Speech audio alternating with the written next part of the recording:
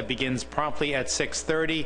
So we need to be just as prompt with our agenda so that we can get through everything by 5:45. Thank you for your help with that. Uh, Item two on the agenda is the agenda itself. Does anyone on the board have any recommended modifications to the agenda? Seeing none, is there any objection to approving the agenda as proposed? Seeing no objections, the agenda as proposed stands approved. Item 2B are the meeting minutes from the board's last meeting, which was held on February 1st, 2017. Are there any recommended changes to the minutes? Seeing none, is there any objection to approving the minutes as proposed? Seeing none, the minutes stand approved by consent, and thank you, Dot, for doing such a continuing great job as our stenographer. We really appreciate that. Uh, Item three is public comment. Um, This is an opportunity for anyone from the public who would like to comment on any issue that is not on today's agenda to do so. Uh, We rely upon a sign-up sheet, which I have here. There is no one on it. Uh, Is there anyone who uh, intended to speak but did not sign up? Now would be your opportunity. Please raise your hand. Seeing no hands, I'm going to move on to the next agenda item, which is item four, board consideration of the Hilborn, Hilborn et al. 2017 paper. First, I will note uh, that in addition to the Hilborn paper, the board has also received a May 1, 2017 response to that paper from the Lenfest Forage Fish Task Force, and both documents are included in your meeting materials. Second, I will note that we have just 15 minutes set aside for this agenda item, so we are not anticipating an in-depth discussion of the documents at this point in time. Rather, our intent today is to bring these two recently released documents uh, with particular emphasis on the Hilborn paper uh, before the board and look to the board for guidance on how you'd like to proceed regarding their review and the potential incorporation of that review in the Amendment 3 process. Given the relevancy of the papers to the draft amendment and given that they have not yet been subject to technical review by the board's technical committee or the BERP working group, uh, one suggestion would be for the board to initiate a technical review via a tasking motion undertaken today, and then circle back to the issue at our next meeting with that technical review in hand. Uh, I know that Megan, uh, our FMP coordinator, and Jason McNamee, to her right, have been discussing this matter, so I would like to now look to either or both of them to offer their thoughts on how the board might want to proceed on this issue. issue. Uh, Megan? Thank you, Mr. Chairman. So I'll be very brief. Um, when we received the Lenfest uh, forage fish report, that was sent to the BERP for a technical review, and then the BERP came back with their um, review of that paper. Um, so one option for the board is to pursue a similar avenue for the Hilborn paper, um, have the BERP read that over, provide their response um, and review of it at the August board meeting. So with that, board uh, thoughts on this issue. Dr. Duval.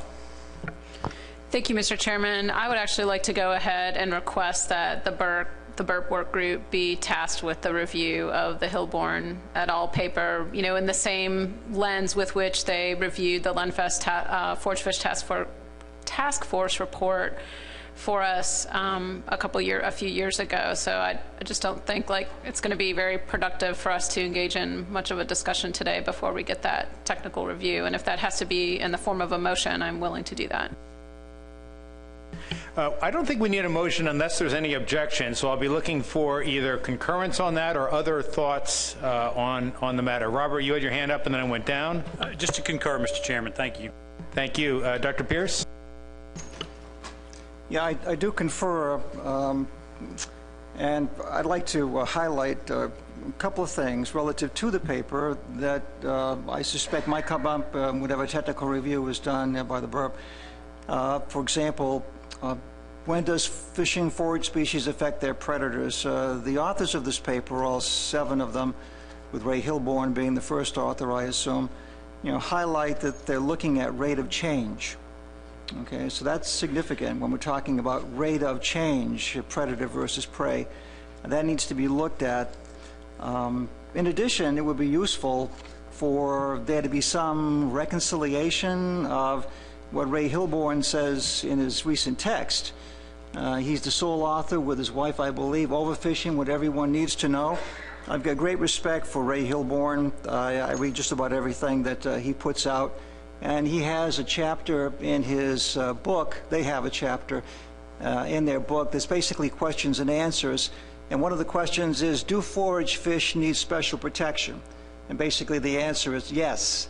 So I read this and I hear what he says not too long ago, and now I see this paper with these other co-authors, and I'm left wondering, has he changed his point of view? Has he been influenced by the other authors? What did the data really suggest to him? And again, he talks about rate of change. So again, I'd like to see this review. Uh, It'll be very useful. Thank you for that. Yes, uh, John? Uh, Thank you, Mr. Chairman. Uh, I don't have a problem with putting this in front of the technical committee. I think they need to take a close look at it, but uh, to a lot of us who spend time on the water, some of the conclusions that the paper came up with uh, seem unbelievable, I- particularly the idea that predators only feed on, on younger prey, and uses the example of menhaden, and anybody who has spent any time in that fishery understands that aggregations of menhaden drive time and area-specific bites. I mean, they really do, striped bass really do focus on adult menhaden. And, and that's really just one example. So I, I would have the technical committee really take a close look at those data sets because something is amiss. And, uh, you know, the whole idea that, that predator abundance is not related to prey abundance, just from an on-the-water perspective, de- defies common sense. So I, I'd like to see a more in-depth analysis of that, and I hope you guys uh, keep the common sense factor in mind when you do review it. Thank you. Thank you. Dr. Duval? Thank you, Mr. Chairman. And just to clarify, um, with regard to Mr. McMurray's comments, it- the request was to have the BERP Work Group review it rather than the TC. I just wanted to clarify that. Thank you. Thank you for that. Anyone else on the board wish to comment on this issue? Yes, Emerson? Uh, Thank you, Mr. Chairman. Uh, Yes, I concur that um, the paper um, should be reviewed um, and that we should have that report back to us. But I would also request that during that review, um, special attention be um, given to the last part of the paper where the authors lay out what they um, conclude uh, to be key factors that need to be included when analyzing the impacts of fishing on forage fish. And they lay out five or six um, uh, key items that need to be addressed and included. So, so in, in terms of our review, I would, I would like some comment about how those key factors relate to where we're going with Menhaden. Thank you. Thank you. Good input. Uh, Anyone else? Yes. Alice, Allison, I think you're new to the board. Welcome. Thank you. Yes, thank you, Mr. Chair. Um, I uh, heard in your opening statements that there are also public comments submitted in response to the Hilborn paper, uh, and I'm just wondering if the action that we are discussing also includes sending that response. Um, I think the authors in that public comment indicated that there would be a peer-reviewed response coming out um, following the public comment, so I was just wondering if we are also considering sending the response to the paper to the BERP and/or TC as well. Yes, I believe you're referring to the Lenfest uh, task force that did respond, that is in, in your meeting materials today, so we wanted to make sure it was before the board, and that will be part of the uh, review undertaken. It's essentially, they provided their response, now we're looking to our own BERP working group to provide their response. Both will be essentially before the board in August for your review and consideration. Uh, Next, I have Rob O'Reilly. Thank you, Mr. Chair, and I guess my question is um, not to, uh, you know, belabor the review, but in the paper, there are several references be- besides Pikitch et al. in 2012. Cury is mentioned fairly frequently, um, Smith et al. I'm just wondering, when this review takes place, and I don't know the answer here, will you also look at some of these other papers? Is that part of the process? Well, I think the motion, well, not the motion, the recommendation before the board is to just review the Hilborn paper. Um, And if you wish to expand on that, you're welcome to, but I think right now, that's the, uh, that's the issue. Go ahead, Rob, follow? I think it just may be important to look at some of these other papers as well, the underpinnings for some of the premises that are here. Um, You know, I don't want to make it exhaustive, but maybe just to be able to look through them would be important. Get a sense of it. Yeah, it's a, that could be a pretty big lift, Rob. I mean, we, I, I- very much respect your recommendation here, but, um, I don't mind if they don't do it, I just was bringing it up. I mean, that's fine, that's fine. I'll stop, all right. thank you for, thank you. Um, I, did- let's see, was there one more, Uh, Emerson, and then I'd like to try to wrap this up. Thank you. Uh, Thank you, Mr. Chairman, for a second comment. Um, In in terms of review of the Lenfest res- Lenfest response, if, if they're going to uh, go forward with a peer-reviewed publication relative to their response, I think it would be more appropriate to wait until that, that publication actually comes out, because what comes out of a peer review publication may be a little bit different than what they sent us as public comment. Thank you. Thanks, that's an excellent point. And, and to clarify, and I may have misspoken in response to Allison's question, the Lenfest response stands on its own. It's, it's not going to be subject to further review. What's going to be subject to review is the Hilborn paper, and Lenfest has already responded to that. As you say, Emerson, they may well pursue that further via peer-reviewed um, paper, and if so, we'll bring that back before the board as well. We, we definitely don't want to get into the business of trying to referee all these different scientific perspectives, but given the relevancy of the, this Hilborn paper in particular, um, and of course the Lenfest response, we just simply want to make sure they're part of the mix.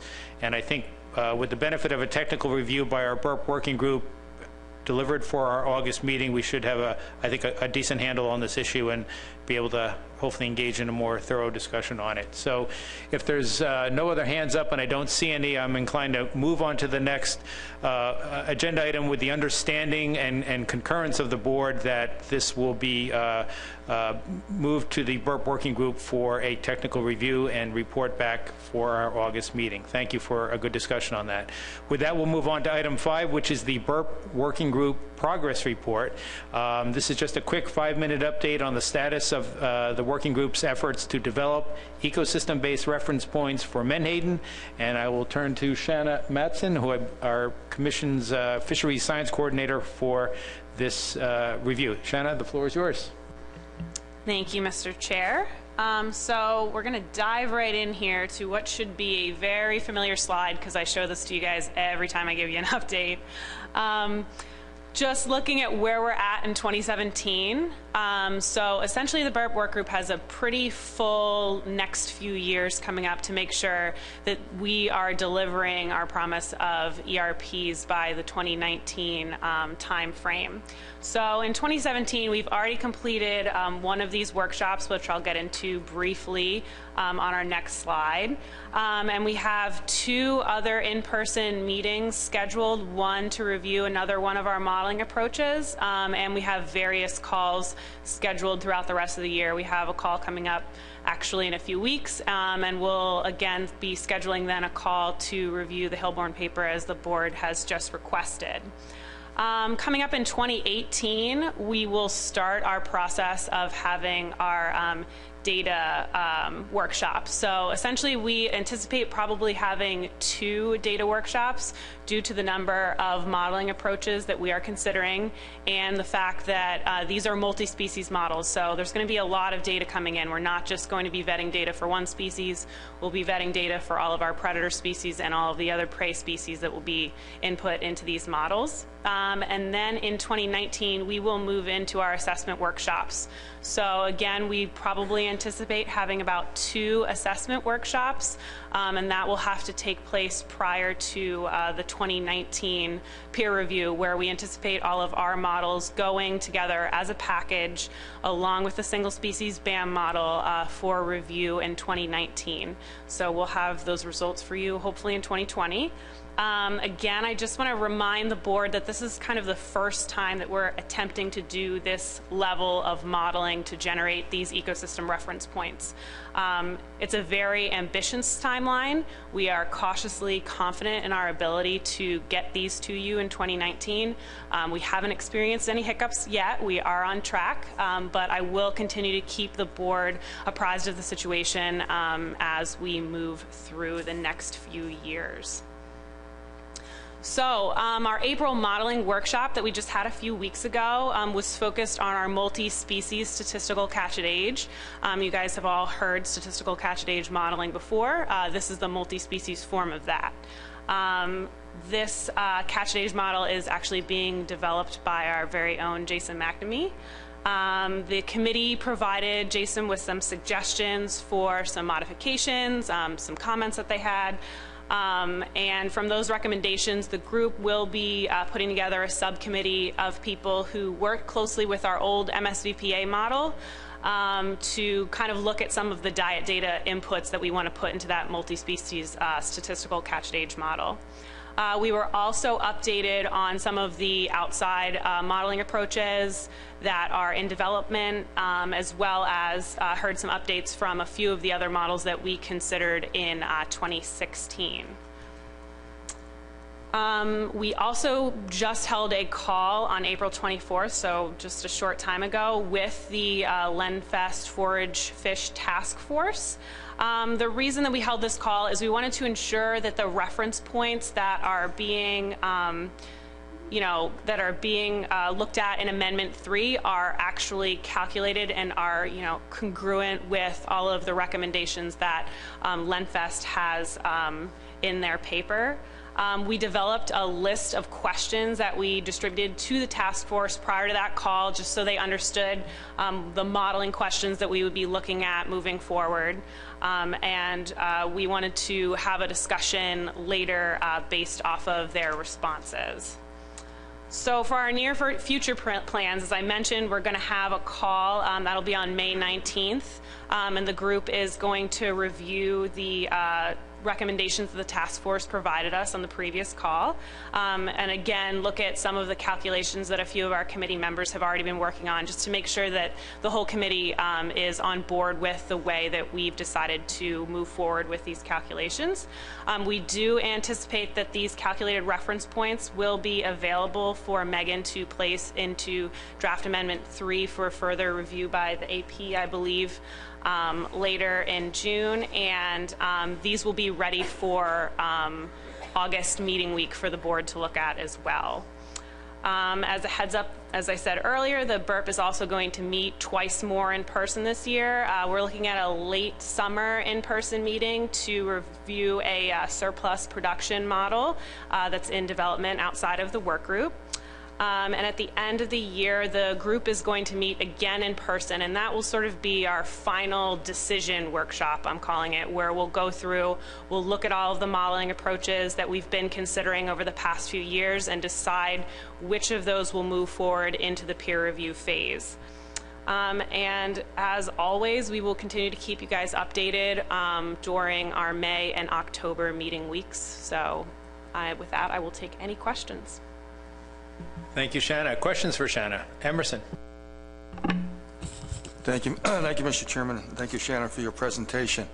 Um, I think it was your second or third slide that you had up there relative to a, a recent conf, um, conference call you had uh, last week. Or yeah, I think it was that one. Right. So I'm just a little confused um, relative to the second bullet there. Ensure control rules in Amendment 3 are congruent with the intention of the Lenfest report, uh, Pikitch et al. in 2012. Didn't either the technical committee or the, or the uh, working group determine that that, that that paper was not relevant to what we we're trying to do with Menhaden management, Menhaden ecosystem management? Um, yes, Emerson. So from one of our earlier memos that we distributed to the board um, after our review of the Lenfest report, the BERP did find some issues um, with the paper. Um, they did say that they believed that uh, this would not be applicable to Menhaden management. However, the board did want to leave those reference points in Amendment 3 for consideration by the board as well as the public. Um, So that would be up to the board to see how to move forward. So um, the BERP is still working to make sure that um, the calculations that are done with those reference points are correctly done. Emerson, do you have a follow? Yes, thank you. So are, are those the only reference points that are, that are going to be brought back to the board, or or are there other reference points that are being developed as well? I'm going to let Megan take that. Hi, Emerson. Yeah, there, there are other options, and I'll be going through draft amendment three just after Shanna's finished, and I'll be talking about the options that are in the document. Other questions for Shanna on her update regarding the BERP working group? Seeing no hands, thank you, Shanna, again, for a great update, and we'll move on to item six on the agenda, which is, um, as Megan just uh, indicated, an update on the development of draft amendment three. Um, I'll just give a couple words of intro here before turning things over to Megan. As everyone is aware, the board moved to initiate the development of the draft amendment at our last meeting in February, and the target date for bringing the document before the board for final review and approval as a draft before going out to public comment will be our next will be at our next meeting in August. As such, today's meeting constitutes an interim stage in the process of developing the document.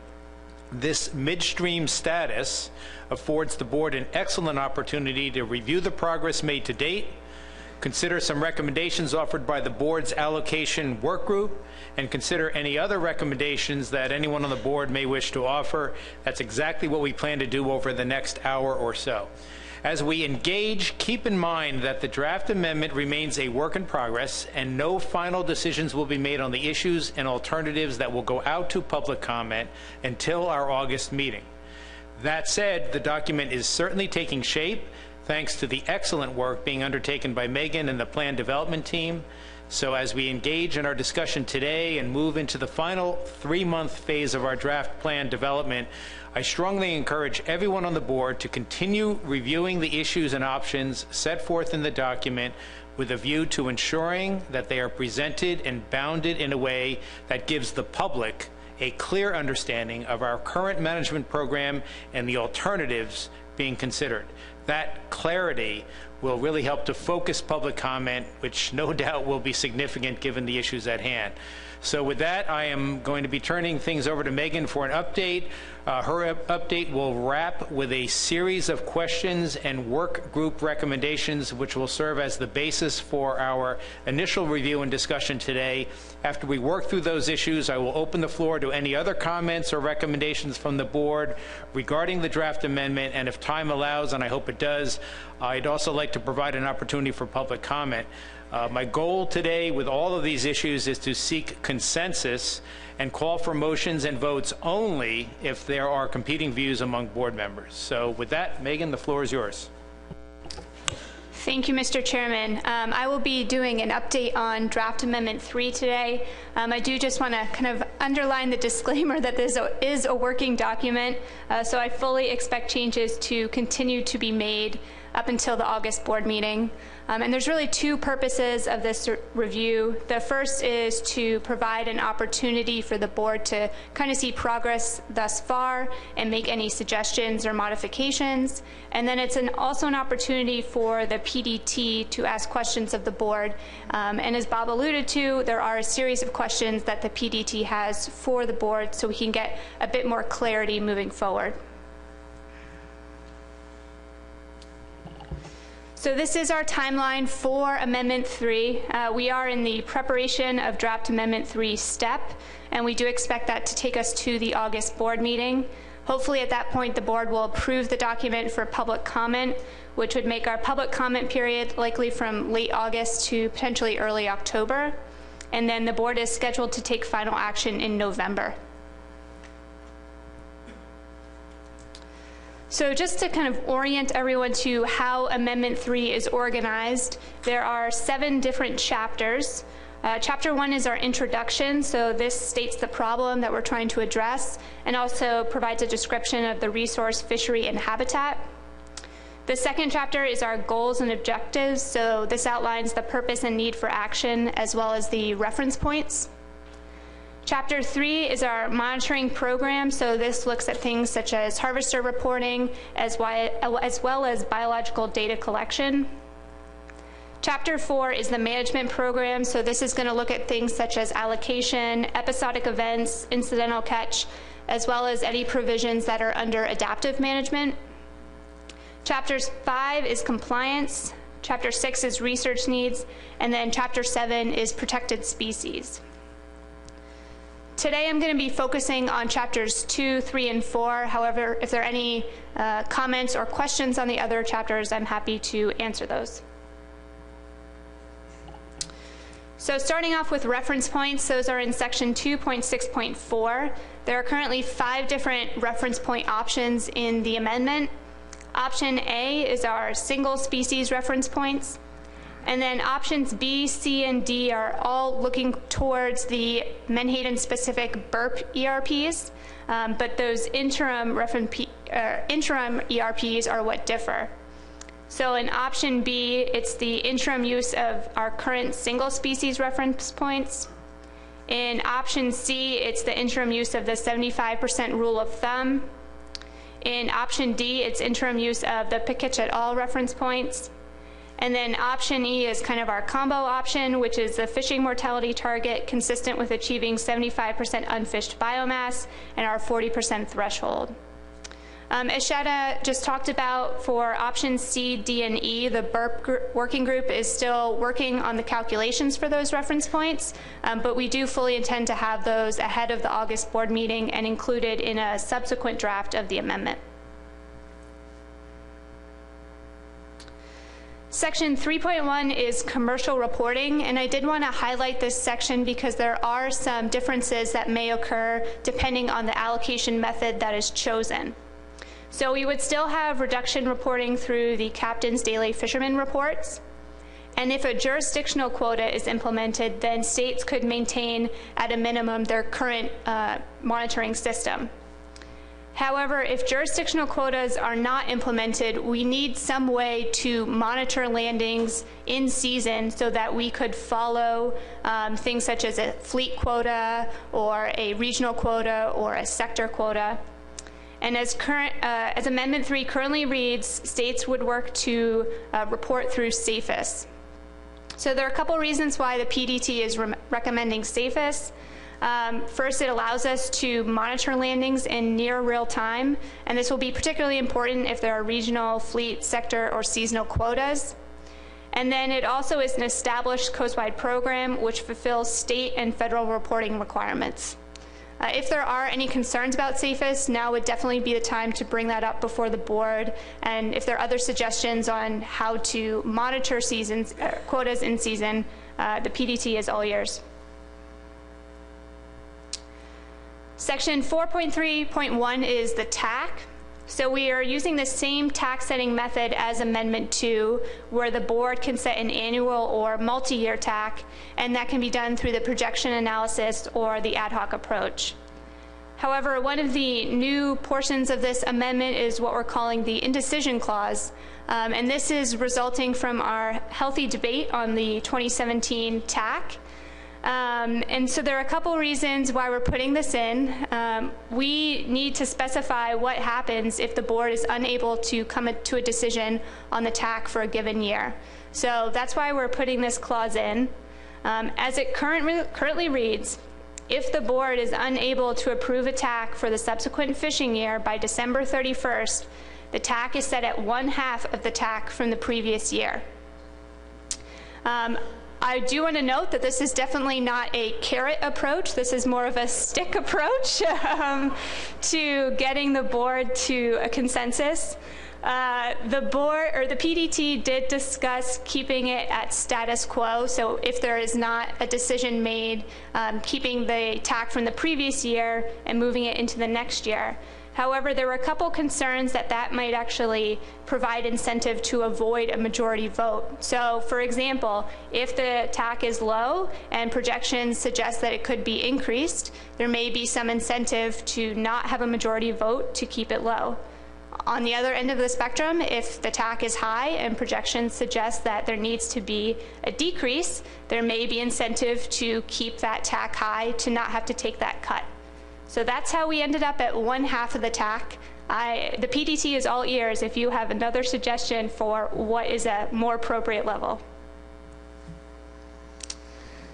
All right, moving on to section 4.3.2, which is quota allocation. So just to orient everyone to how this is set up, there are three different tiers in this section, and this is to try and accommodate the different combinations of uh, allocation methods and timeframes that can be used. So in tier one, we have our disposition quota, which is the bait versus reduction quota. We also have fleet capacity quotas, seasonal quotas, allocation based on TAC level quotas, or none of the above. In tier two, we have our coastwide quota, our jurisdictional quotas, a fixed minimum quota, and then regional quotas. And then in tier three, we have our time frames. So just to provide an example of how this would work, for the board to kind of choose the current management approach, the board would choose none of the above in tier one. They would choose jurisdictional quota in tier two, and they would choose 2009 to 2011 in tier three. So you have to choose an option in each tier to kind of create a, uh, an allocation package. Diving into these tiers a bit more just to provide a, a bit of information on these different allocation methods. So the first one is our bait versus reduction, and there are two sub-options for how to split the quota between the two sectors. Um, sub-option one is 70% goes to the reduction fishery and 30% goes to the bait fishery.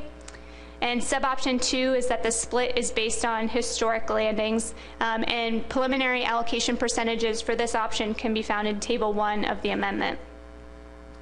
Next is our fleet capacity quota. So we have, two, again, two sub-options here, either a two-fleet or three-fleet approach. And then there are also sub-options which look at whether that small capacity fleet can be managed under a soft quota. And just to provide a bit more context on that soft quota approach, the small capacity fleet is still allocated a portion of the quota. However, their fishery would not close if that quota is met. And the intent of this is kind of to reflect the ebb and flow of bait landings, where in some years they might be a little bit above that quota, and some years they might be a little bit below, but in the end it all kind of evens out. Uh, we also have seasonal quotas here, and I'm going to talk about this a little bit more, but kind of previewing a question I have for the board is if the board is still interested in this option.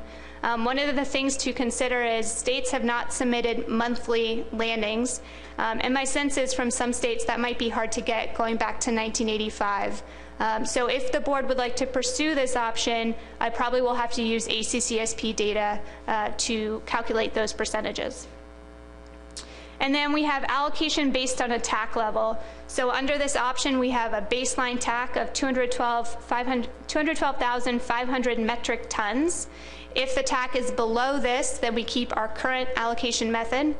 If it is above it, then that remaining or that difference is allocated to the reduction and the state bait fisheries um, in different percentages. Uh, we have different sub options there. All right, next on to tier two. Um, so the first option is our coastwide quota. Our second option are jurisdictional quotas, and percentages for those can be found in Table 7 of Amendment 3. Next, we have our fixed minimum quota. Um, so in this case, each state gets a fixed minimum amount of quota. We have sub-options for either 1% or half a percent. And again, those allocation percentages can be found in Tables 8 and 9. And then we have regional quotas. Um, so we have three sub-options there. We have a two-region split between the Chesapeake Bay and everyone else, a three-region split between New England, the Mid-Atlantic states, and the South Atlantic states, and then a four-region split between New England, the Mid-Atlantic states, the Chesapeake Bay states, and the South Atlantic. And then finally, tier three, these are our allocation timeframes. So just a reminder, they are 2009 to 2011, 2012 to 2016, 1985 to 2016, 1985 to 1995, and then a weighted allocation between 1985, 1995, and 2012 to 2016. One thing I do want to note is that Florida did not collect gear-specific data prior to 1993. So what this means is for some of the older time frames, we're going to have to use data from 1993 and 1994 to kind of back calculate what those gear landings are for something like a fleet uh, capacity allocation method. And then a question that's been brought up is, do historic reduction landings from states which no longer have a reduction facility count towards the allocation percentages? And this will be one of the questions that I'm hoping to get an answer from the board today. So this is what the allocation section looks like, and I'm hoping uh, people can actually read this, because the point is that there may be too many options in this document. Um, so what we have here is our different tiers. We have different options. We have the sub options, and then we have the sub sub options. Um, and I think the concern of the PDT is that this number of options may hinder effective public comment and it may also hinder resulting board action in November. So kind of one of the themes I'm hoping to get across today is how can we hone in on the number of management alternatives in this section. Section 4.3.3 is quota transfers. So quota transfers only apply if a regional or state-based quota is chosen.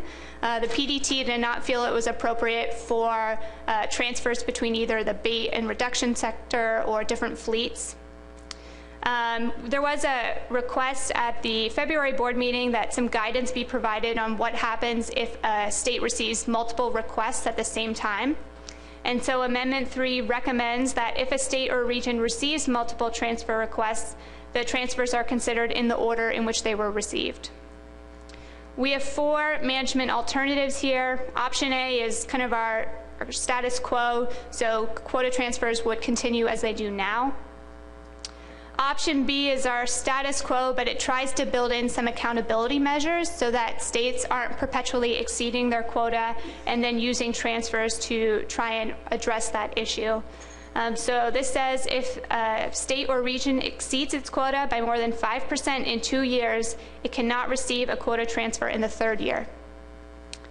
Option C is quota reconciliation. So just a reminder of how this works. If the TAC is not exceeded, then any state or region overages are forgiven. However, if the TAC is exceeded, then any unused quota is pooled and that's distributed to states or regions that had an overage. Option D here again tries to build in some accountability measures. So under this option, the amount of overage that's either forgiven or the amount that's distributed to states is dependent on the number of previous years of overages. So the more overages a state has had in consecutive years, the less uh, amount of overage will be forgiven. Section 4.3.4 is quota rollovers. Uh, the PDT has tried to tailor this so that quota rollovers uh, will work under each allocation method. However, it's important to note that quota rollovers are not permitted if quota reconciliation from the previous slide is implemented. Uh, there are five different options for quota rollovers. Option A is no quota rollovers. Option B is that 100% of unused quota can be rolled over. Option C is 10% of total quota can be rolled over. So for an example, if I'm a state and I have 1 million pounds, um, I could roll over 100,000 pounds of unused quota. Option D is obviously quite similar to that, except 5%. And then option E is rollover of 50% unused quota. So another example, if I have 500,000 pounds of unused quota, I could roll over 250,000 pounds. Section 4.3.5 is incidental catch. So the first thing that this section does is define a small scale gear from a non-directed gear from a stationary multi-species gear. I think one of the challenges with Amendment 2 has been that it's kind of unclear who can participate in the bycatch fishery.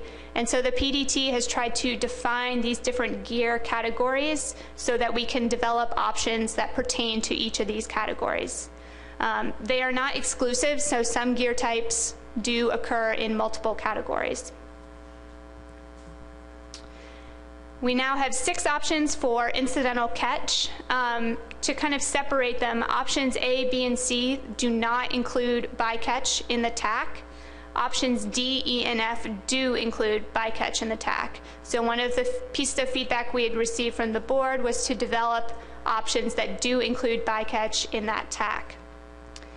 Option A is a trip limit for non-directed gears. So this would be kind of your true bycatch definition, where something like a pound net would be able to harvest menhaden after the directed fishery has been closed through a trip limit.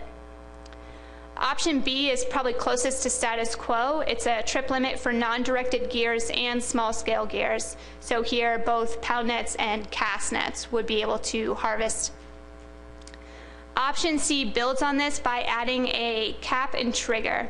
So it sets the cap at 2% of the TAC, um, and if this cap is either exceeded by 10% in a given year, or if it's exceeded two years in a row, then that would trigger management action. So the board would be triggered to consider ways to reduce bycatch in the Menhaden fishery. Option D is an incidental fishery set aside, so 2% of the TAC would be set aside for incidental catch, which occurs after the quota is met. Option E is a small scale fishery set aside, so this sets aside 1% of the TAC for small scale gears, and these gears would harvest from this set aside throughout the year. And then option F is all catches included in the TAC, so once the quota is met, the fishery would close. 4.3.6 is episodic events. So currently, um, as Amendment 3 is written, eligibility is for the states of Maine through New York. Uh, it's the same mandatory provisions as under Amendment 2, so harvest is restric- restricted to state waters. There's a trip limit, daily trip level reporting. However, the PDT has tried to provide greater guidance on ways for states to prove a high abundance of menhaden. So things such as surveys or landings reports, fish kills. Uh, we've tried to provide a bit more guidance to states in the application process. There are three options here. Um, 1% of the TAC is set aside for the episodic events program. Option B is an increase, so 3% of the TAC is set aside. And option C is 0% of the TAC is set aside, so that would eliminate the episodic events program. 4.3.7 is the Chesapeake Bay cap. So under option A, this is our status quo, where the cap is set at roughly 87,000 metric tons. And then we have sub options that allow for either a portion of rollover of that cap or no rollover. Option B would set the cap at 51,000 metric tons, which is roughly the five-year average. Um, and again, we have options that allow for a rollover of a portion of that if it's unused or no rollover. And then option C would remove the cap. So that is chapters two through four of Amendment three. Um, kind of getting back to one of the the messages or themes of this presentation, how can we hone in on the number of allocation methods? Um, the allocation work group met to review Amendment 3 and also to provide some recommendations to the board on how we can try and uh, hone in on some of these options. So there were four questions that were asked of the allocation work group, and I'm going to provide their responses. So the first question is, are there any benefits or concerns for either the two fleet or three fleet allocation method? And the recommendation of the allocation work group is that the board maintain the two fleet quota option but remove the three fleet option. Um, the allocation work group felt that the two fleet option is less complex and still achieves the goals of the allocation method, which is to provide equitable access to the fishery for all gears and also reduce the administrative burden on states. The second question asked of the allocation work group is should soft quotas be included as a management alternative? The allocation work group recommends that soft quotas be maintained as a management alternative for small capacity fleets, but that further, uh, the PDT further develops clear and upfront controls on this fleet. Um, the PDT has started to work on that, but this is something that we would continue to work on if the board agrees with this recommendation. The third question is, is there a regional allocation method which best reflects the Menhaden fishery? The allocation work group recommends that the current regional allocation options be removed from Amendment 3 and that it, they be replaced with an option that establishes a regional quota for the New England states but maintains jurisdictional quotas for the Mid-Atlantic and South Atlantic states. Um, some of the members of the work group expressed concern that regional quotas um, could result in states being shut out of the fishery due to the timing and the movement of menhaden. However, they did note the episodic nature of the New England fishery, and that may warrant a regional management approach. And finally, the fourth question asked of the group was, should historic reduction harvests from states which no longer have a reduction fishery be included in the landings used to calculate allocation percentages? And the recommendation of the work group is that landings data prior to 2017 is not used in this amendment. 2007, my apologies. Um, so they pointed to a couple of things. Um, they pointed to inconsistent reporting for several states prior to this date. Um, they noted that this time frame only includes one active reduction plant. And many pointed to some of the management challenges that are occurring with summer flounder. As a result, they are recommending that the uh, current allocation timeframes be replaced with the following 2009 to 2011, which is our status quo, 2013 to 2016, which is four years under Amendment 2, 2007 to 2012, which is the six years before Amendment 2, 2012 to 2016, which is the five most recent years of data, and 2007 to 2016, which is the most recent decade of data. Um, one of the last slides here, this is just kind of a FYI for the board. Um, New York did submit a proposal to recalibrate their Menhaden landings due to inconsistent or non-existent reporting. In the proposal, they compare landings from 2013, 2016 to 2009 to 2012 to scale their historic landings.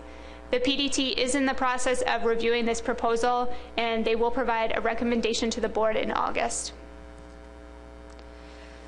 So just to kind of leave the board off with some questions from the PDT, again, how can we hone in the number of management alternatives in this document? Should the three fleet option be removed? Should soft quotas be included as an alternative? Is the board still interested in seasonal quotas? Should the regional allocation options be replaced with an option that creates a New England regional quota but maintains state quotas elsewhere? And what time frame should be used for allocation? Thank you.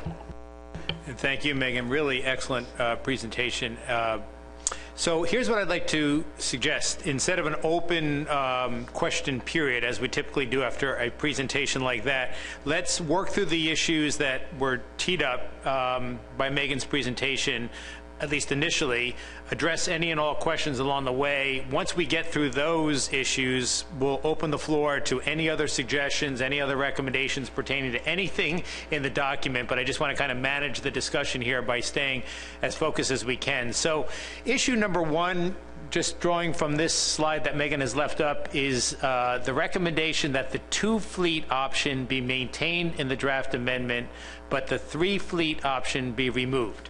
Are there any questions regarding this recommendation? Are there any thoughts regarding the working group's recommendation, um, which I just indicated? Uh, Dr. Pierce. Yeah, we're very well done presentation, and the questions have been very succinctly uh, listed for us. Uh, should the three fleet option be removed? Megan, I believe you in your presentation uh, noted the benefits of going with the two fleet instead of the three fleet. But what I what I missed was um, the drawbacks. Did the did the group highlight any of the potential drawbacks if we go to two fleet as opposed to three fleet? Uh, I'm leaning towards the two fleet, but um, again, what are the specific drawbacks, if any? I don't think any drawbacks were discussed on the call. Um, however, you know, just kind of outlining how the two fleet versus three fleet works. Two fleet is small versus large, so it's basically all gears separated from purse seines and pair trawls.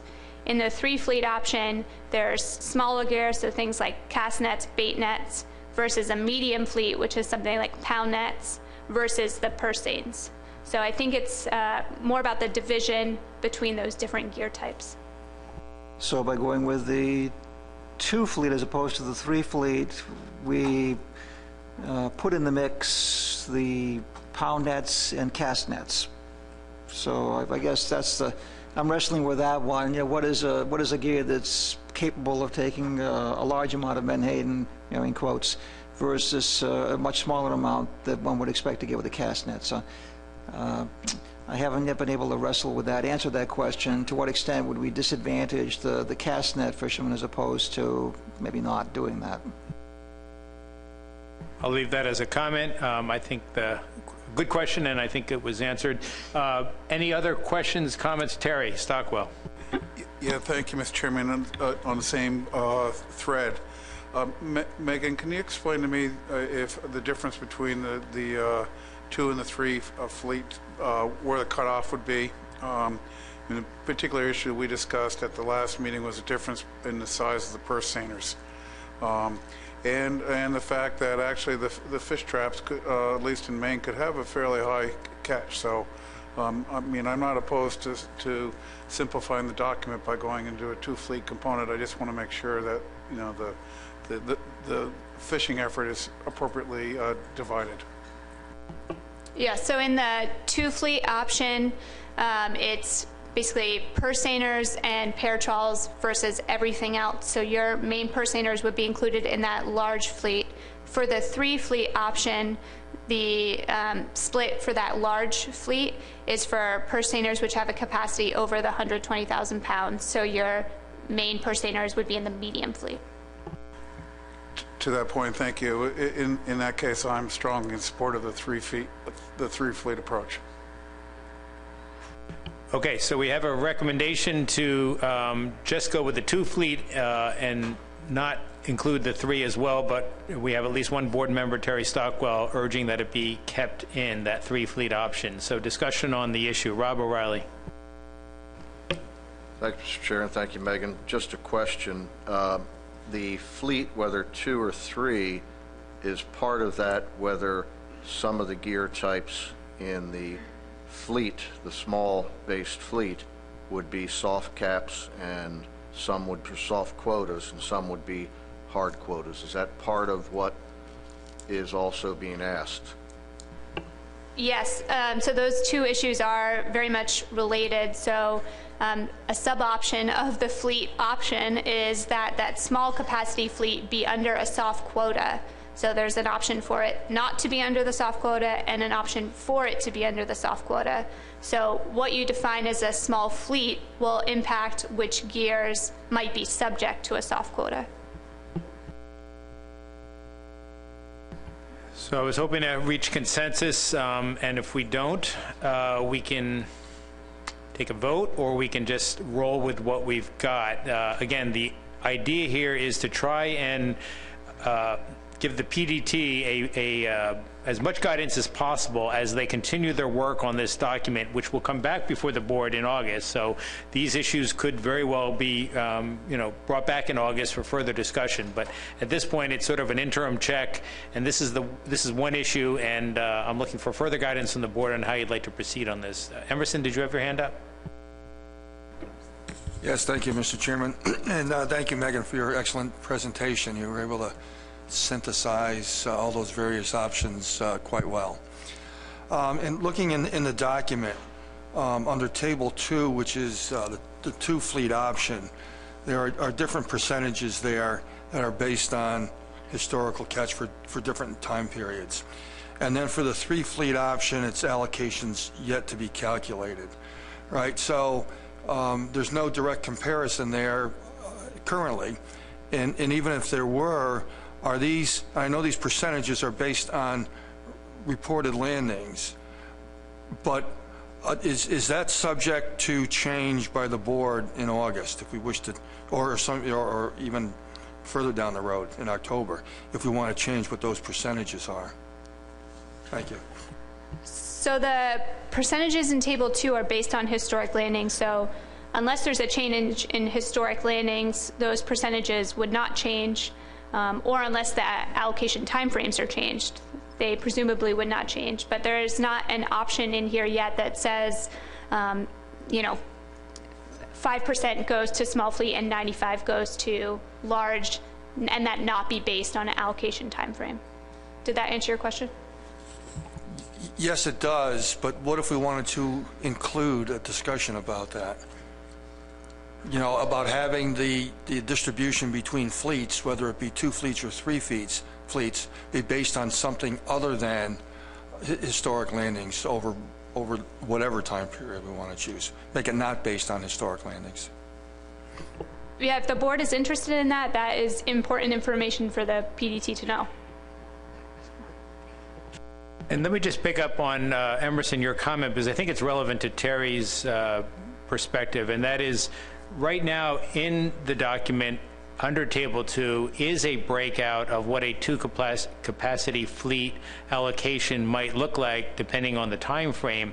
And indeed, there's a sort of um, uh, uh, hold under that for Table 3, uh, allocations not yet calculated. I think the challenge here is that it, well, it would be indeed a challenge to try to calculate allocations on a three-fleet basis, because now you're parsing the purse seine fleet. You're taking, historically, those purse seines able to harvest uh, up to, I forget what the cutoff is, um, it's in 125? 125,000 pounds, affording them an allocation in accordance with that middle fleet, uh, medium fleet uh, category, and then trying to go back and figure out how many purse seines that were capable of harvesting more than 125,000 pounds, putting them in the large fleet. And I think, if I'm not mistaken, and certainly anyone from the working group can can speak up on this, that sense of trying to parse out the, the purse seine fleet into two different categories based on historical time frame, frames was going to be a huge challenge. So why do it? Wouldn't it make more sense? And again, I'm trying to paraphrase the working group recommendation to just have the purse seine fleet in one category, purse seine and pair trawls, and all other gear types in the other.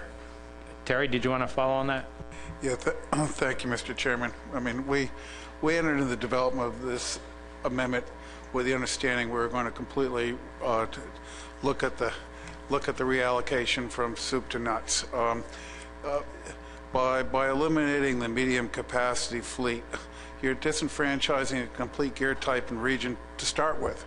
And uh, I just don't think it's right at this point. We, we may, we, we may find further down the road that it, it makes sense to merge the two, but right now, the, um, the large purse seine effort and, and the, and the smaller purse, they're, they're two different fisheries. It's, it's as different as between a, a medium, a medium vessel, uh, and, and, a- and a haul seine. They're two different fisheries.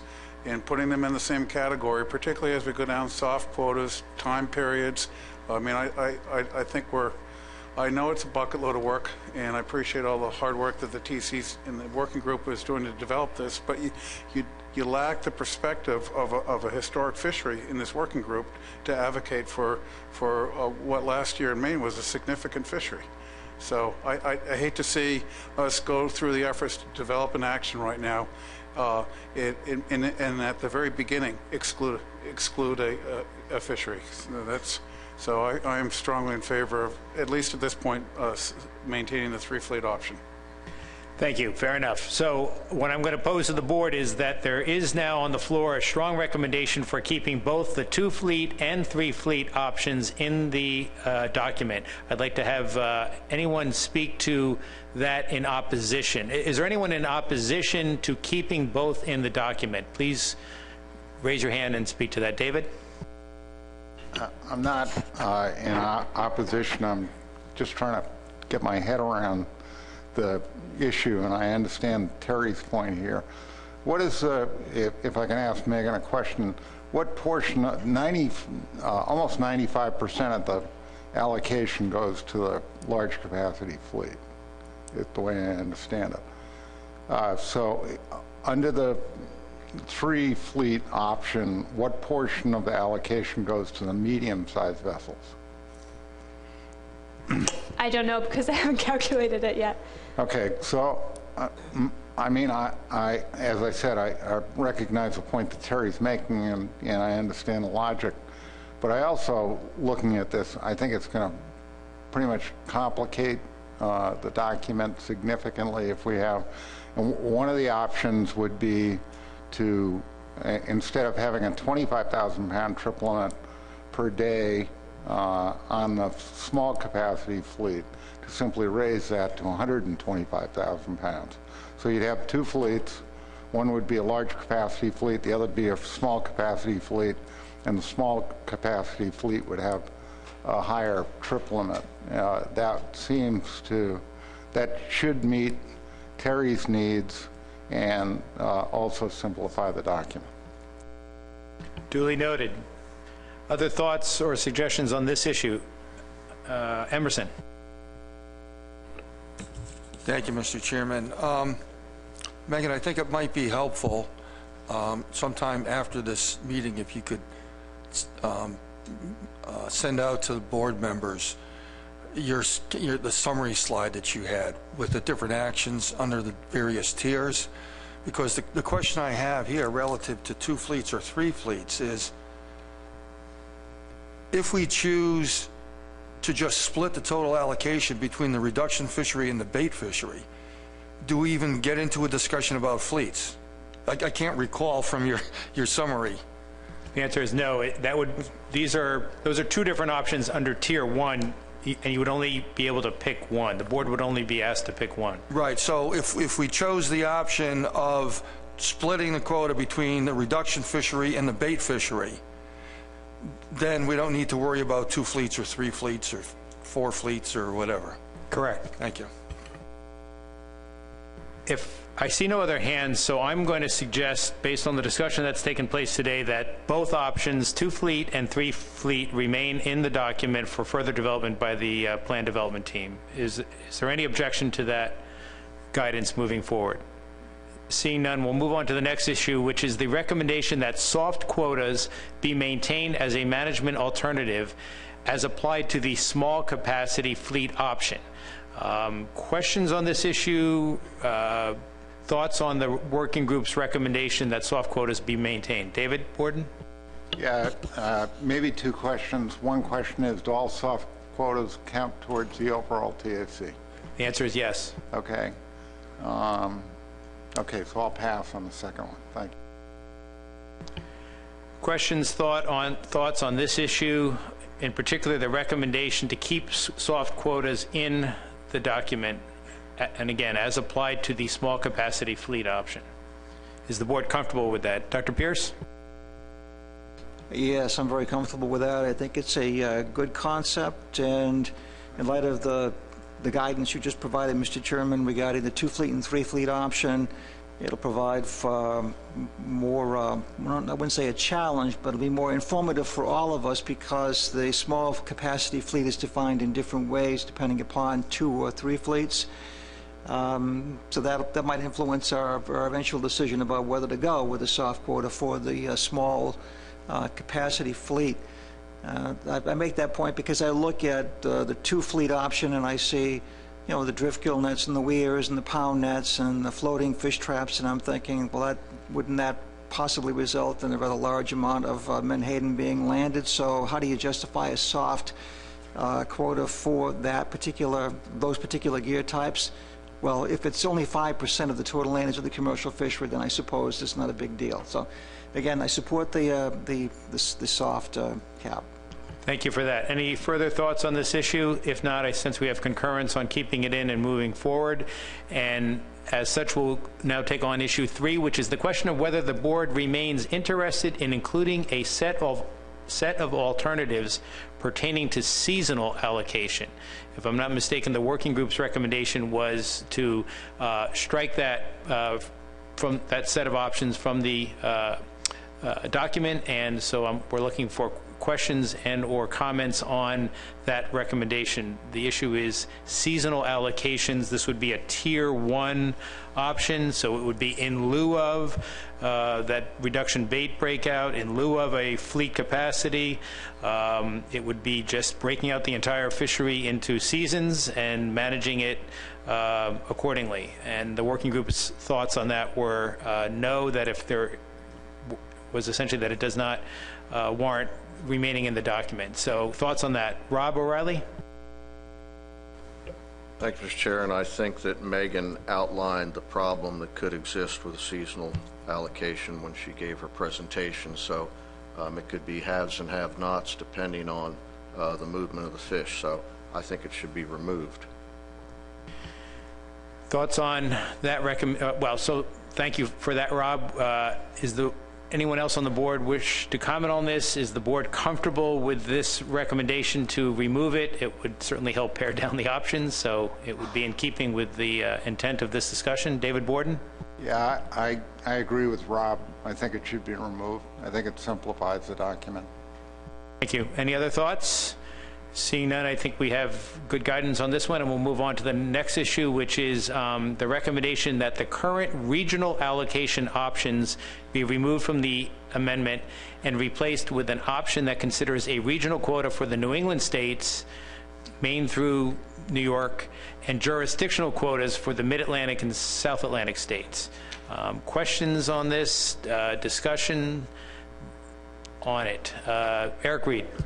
Thank you, Mr. Chairman. I would be opposed to a regional quota in New England. Um, Where we are in Rhode Island, typically, we would have the last shot at any fishery, and the perfect example is this year where there was no episodic event available to us, and unless the quota was high enough that we all had a nice piece of the pie, but I I would be opposed to a regional quota in New England. Would you be opposed if that were the only region that had a quota as a way of preserving uh, access to the fishery for the New England region? Uh, I'm opposed to a regional quota in New England. Thank you. Other thoughts on this? D- Dr. Pierce? Uh, I like it. I like Eric's uh, perspective. Uh, I definitely do not want to see regional allocation options replaced. Um, What we're doing right now in our individual states in New England, I can speak specific to Massachusetts, you know, we've, we've done quite a bit to figure out how to manage our individual quota. Um, We may eventually have to go in a completely different direction depending upon what the final results are relative to this, uh, this addendum, but but the regional allocation definitely would uh, put, put, um, put my state uh, in particular at a great disadvantage relative to who gets what first, depending upon the movement of the fish and the seasonality of that movement. So, no, I, I would not support replacing the, um, removing the, uh, I don't support that regional allocation option. So we really are just sort of two issues that are sort of getting conflated here. One is, right now, the addendum, I'm sorry, I keep saying it, amendment, draft amendment, under option D, regional allocation has three sub-options. The first is a two-region split, Chesapeake Bay being one and the rest of the coast being the other. Option, sub-option two is a three-region split. The first region is a New England region, the second is essentially a Mid-Atlantic, and the third is a South Atlantic. And the third sub-option is a four-region split, New England one, Mid-Atlantic, New New York through Delaware being the second, Chesapeake Bay, Maryland through Virginia being the third, and South Atlantic being the fourth. So the questions, the, the question for the board is, do you want to keep those regional allocation options, including all three sub-options in the document, or not? And if not, do you want to replace it with something else? So we're sort of, I'm sort of hearing two different things. I'm hearing opposition to the regional allocation approach. I'm hearing particular opposition to a New England regional um, approach. So I'm not sure if, I'm just trying to get a clear read from the board on, on how they want to proceed on this issue. Rob O'Reilly? Thank you, Mr. Chair, and I'll just mention what uh, the allocation work group talked about um, concerning regions, that it would break down to states within the region, um, trying to make sure that they um, didn't go over a quota, and that could be somewhat of a complication. I know that was stated on the allocation working group. So let me pose the question this way. Is there any opposition on the part of the board to removing regional allocation in its entirety? I'll just stop there. Is there, is there any opposition to that? Is, is- does the board support removing regional allocation as an, as a component of this uh, amendment? Uh, Let me go to Steve Train first. Thank you, Mr. Chair. While I can see the merit to removing it, not knowing what we're going to get for a choice in the end makes me wish we could keep it in there a little bit longer. I mean, what we landed in Maine last year and the way things are changing, uh, having an allocation that's greater than having Terry and Pat begging and borrowing from the other states to get quota would be better for us. Now, can we do away with regional? Yes, but not knowing what we're going to get instead of it makes me want to be able to keep the option in it for now. Understood. Cheri? I agree. I think we need to maintain the regional option because these fish are moving. We are seeing uh, more and more episodic events further north, and those need to be considered if the population continues to expand. Yes, Senator Waters. Uh, Thank you, Mr. Chairman. And just to follow up on what uh, Cheri said, it's hard to separate this um, from the next issue of the timeframes. Uh, And I, I kind of a question to Megan, um, you know, if we are seeing a shift of the biomass towards the north because of climate, um, do those timeframes really adequately reflect what might be projected therefrom? So that if, you know, whatever we do on the regions, if we have timeframes that are based on historic landings that really don't reflect where the fish are going, um, I, I think that would be, that would be difficult. Thank you. Yeah, that's a tough question. I'm going to throw it back to the board. I mean, I think it's up to the board to make a policy policy decision on the timeframes and whether the board is interested in using historic timeframes or pursuing the allocation work group's recommendation to go from 2007 forward. So, I mean, that's uh, the next discussion we're going to have. Dr. Pierce? Yeah, I'm uh, very much influenced by option uh, C in the, in the list of options. Uh, jurisdiction allocation with minimum base allocations. I suspect that uh, that option and one of those sub-options, one or two, would actually be of uh, be of benefit to the state of Maine and to other states, notably to the state of Maine. That's the last in line, so to speak, with uh, Wed Menhaden. Think the regional allocation that would include uh, what is it, Connecticut through Maine, that potentially would put Maine at a disadvantage. So. Uh, regional allocation in the interest of, uh, of uh, shortening the document, making it easy to understand, uh, and certainly supportable by, by, me. Regional allocation option D, I still think we could delete that and then go with options A, B, and C.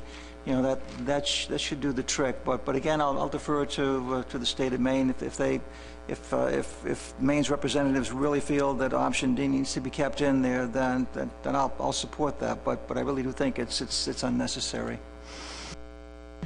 And again, just to remind the board, we will be coming back to this for really a final review as a draft for public comment in August, so we will have another chance at this issue. Um, it's just to try to aid in the further development of the document, particularly with regard to the analysis of these options that we're really trying to um, address today. Uh, David Borden? Yeah, Mr. Chairman, question for you. Does this require more, if we leave it in until the next meeting when we, we review more details, does it require any more work on the part of the staff? Depends if, if we change the timeframes or not. Because I, I mean, it may make some sense just to leave it in and then take this up at the next meeting and just, and make a formal decision on it. People can think on it and so forth.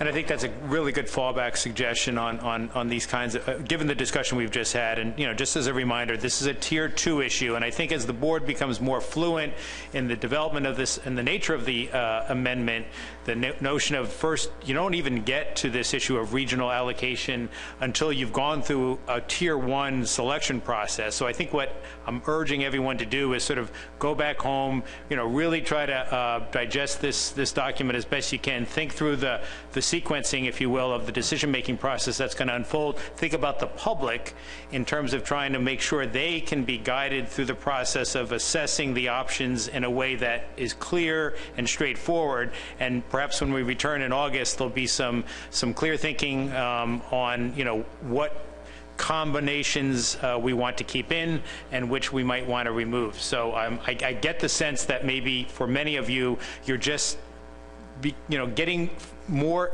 and more familiar, but aren't at the point yet where you're ready to, you know, strike wholesale some of these uh, options. That's that's the that's the sense I'm getting. Uh, but if I'm wrong, uh, correct me. And if there's certainly any specific recommendations to, for example, take out any of the specific sub options on a regional allocation, now's the time to speak. Otherwise, maybe we'll just keep things together. Uh, David Blazer.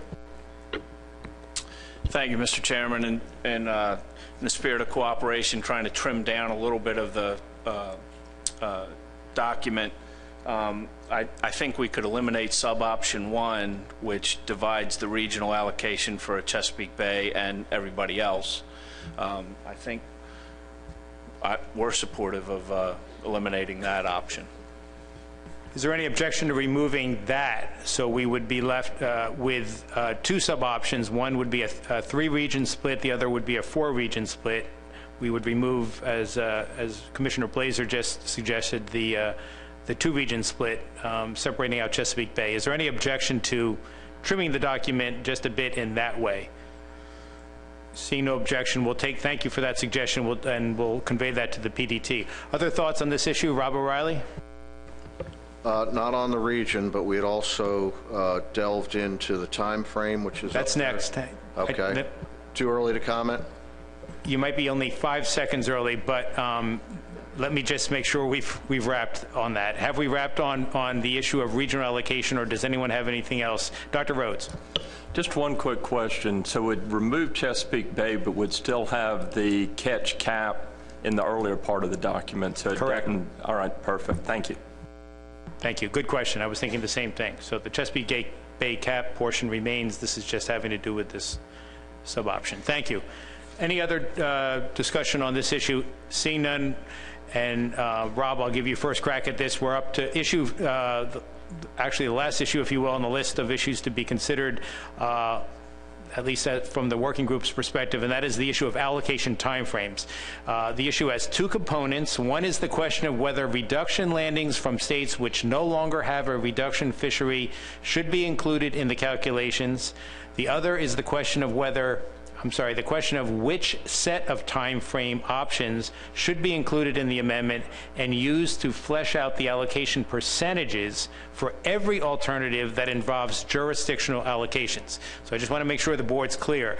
These time frames would be used in multiple ways throughout the document on each and every occasion where there needs to be a a allocation based on historical timeframes. So you can see right now in the document, in the tables that have been developed that were presented and are in your meeting materials, how things would play out with regard to the um, the current four alternatives that are in the document. In addition to status quo, there are four alternatives in the document.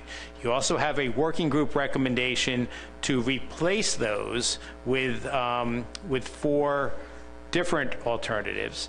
And um, I know Megan had put that slide up, but there it is, right there. So uh, right at the bottom of the slide is the focus of the discussion I'd now like to undertake, and that is uh, current timeframes versus proposed new timeframes. Questions, discussions on this, uh, discussion on this, I'll go to Rob O'Reilly first. Okay, thank you, Mr. Chair, and I'm well aware that Robert Boyles and you have uh, hosted about maybe nine, seems like nine allocation work group conference calls, and so we have discussed this, and uh, I think in the document that has been prepared, uh, the draft Amendment 3, it's pretty clear that there are some problems with the historic information, not only the lack of uh, data uh, back in time, but also the fact that the last factory or reduction facility, um, other than Omega Protein, was around until about 2007. So we talked about that. We talked about the data deficiencies, and I think one of the recommendations, and there are uh, other folks on the working group, so if I get anything wrong, let me know, but one of the ideas was there was a comment that 2013 to 2016, the second option was actually going to be almost a continuation of what had happened, even though it followed um, Amendment 2, and certainly that was borne out that, you know, the, the proportion of harvest after Amendment 2 is there. The 2012, the fourth item, was because it, with Amendment 2, the board was just short of having any final data, and it seemed like that could be included. Um, And then, of course, the 2007 goes back to the fact that that's where there is only one reduction facility, um, and that's Omega Protein. So um, I would recommend, uh, and other working group members can chime in, that the proposed timeframes are really more suitable. I know that it would be a struggle to try and recreate the past data, and that's one reason. Um, The second reason owes to the reduction plants. Thank you. Thank you. And just to help ensure that the discussion that ensues now is well-informed, at the end of the working group memo, which is just a short two-page memo uh, in your meeting materials, is a third page essentially, and that uh, is, uh, includes, ta- or is Table 1, and it shows the state-by-state allocation percentages for the time periods recommended by the allocation working group. That would be the set of allocation timeframes on the right in, in, on the slide that's up there now. Um, In your draft amendment, I think it's Table 7, does that sound right? Table 7 in the draft amendment is the percentages that correspond to the current timeframes on the left side. So you can do your compare and contrast, or however you want to look at it, by comparing those two tables that are in your uh, meeting materials. And I just want to make sure that this discussion is focused on those tables to- because that's, that, the- they bear the fruit, if you will, of, of uh, how things would play out regarding the board's decision on how to uh, move forward. David? Thank you, Mr. Chairman. Uh, Just a quick question, um, just to kind of get a sense of how uh, the regulatory process has impacted the the fisheries. Now, understanding that these things change from state to state, year to year, a a lot of changes, but I guess what I'm wondering is, and the reason why I'm asking, over the past few years with a couple of huge cuts, or some significant cuts, is there any sense that that's caused any shift in any of the other fisheries? Certain smaller fisheries maybe no longer found it practical to fish during those years, and if so, we've sort of set it up to almost shape the plan and determine who's going to get the fish afterwards. Is that a question or a comment? I'm, I'm not sure. If it's a comment, Well, it's a question, I guess I'm looking for a sense of whether or not the recent regulatory impact or changes have had any impact in where these fish are landed, or if it's completely and totally just up to where the fish are. I think the best way to answer that is to call your attention to Table 1 at the end of the working group uh, document. That shows the percentages that would be applicable for each of the timeframes, one being uh, the status quo timeframe, the other being uh, that period of time since the adoption of Amendment 2, uh, which for the first time put Menhaden under quota management, and then you have some other combinations there. So I think really the best way to answer your question, David, is to just point to that table, and you can see whether there are any impacts that you can discern or not. Uh, That, I think that's the best way to answer that question. Uh, So I'll leave it there. Megan, did you have anything else? Okay. I'm trying to do my best to answer questions, and I keep forgetting I've got my expert right here to my right. Uh, Cheri? So some states uh, actually had uh, decent fisheries or decent landings back in the late 80s, early 90s, New Hampshire being one of them. So I would, uh, of course, be more uh, leaning towards the current time frame so that we actually do uh, or can show that we did have viable landings that can be attributed because if we go with the proposed timeframes, we have 0%. Understood. Additional thoughts on this? David Borden? Yeah, thank you, Mr. Chairman. I'm actually opposed to the proposed timeframes of the working group, and I I just remind everybody that the state of Rhode Island, uh, under the existing allocation, got 66,000 pounds. Uh, If you went back over the timeframe of 1985 through 2015, there are periods there when when I worked for the state of Rhode Island that we landed 25 million pounds. So there is an enormous difference. Uh, Part of the reason we're doing this whole addendum is because the, when the allocations were made, they, they simply excluded those long-term timeframes. I'd also remind everybody that when we went to public hearing, at least at two of the hearings, there was almost unanimous agreement on the part of the public to include a longer time frame. So I'm opposed to taking out the long time frame. I think it should be included for public process. Thank you, and let me remind the board that there's really a two-part, this is a two-part question. One is whether we keep the timeframes or not, and David and Cheri have just spoken in favor of supporting the, uh, uh, the current timeframes that do stretch back. The other is, should reduction landings from states that no longer have reduction fisheries be included in those uh, timeframes, those calculations, or not? And uh, again, a two-part question there, and I think we are looking for board uh, guidance on, on both issues. Dr. Pierce. Yeah, I, I will uh, reflect on your suggestion earlier on, Mr. Chairman, that it is a tiered approach, and we need to focus on that as we get ready for the next meeting. So, you know, with that said, uh, I do uh, favor the current timeframes. Uh, if for no other reason, then again, it does include a longer time period, and I'll specifically reference Table 2 in the document, where, consistent with what you said, these timeframes will be carried through the entire document, all the different options, and that Table 2 references large capacity versus small capacity fleets. And depending upon the years you pick, the small capacity fleet does get maybe twice uh, what what it otherwise would get. So um, I'm um, I'm influenced by Table Two, and as a consequence of that, I, I prefer to leave in the, the longer the longer time span that includes uh, the 1984 and and later. If you don't mind, I'm going to now challenge everyone on the part two of that, and that is, do you support which approach do you favor a, time series that includes reduction landings from states that no longer have reduction fisheries or a time frame that uh, that essentially cuts them out. There is good historical information, as I understand it, on the purse seine fisheries. So this would be from, for states like North Carolina um, and others that once had reduction fisheries but no longer do. Should those landings be included in the long time series that you're supporting or not? Uh, I would not include them. Thank you. I appreciate that. And I'd like to, again, ask every board member as you comment to speak to that second part of the issue as well. Thoughts on the issue? There seems to be um, more support for keeping the current timeframes than replacing them, and I'm still waiting for uh, more input on the question of whether historical reduction landings from states that no longer have reduction fisheries should be retained or not. Emerson?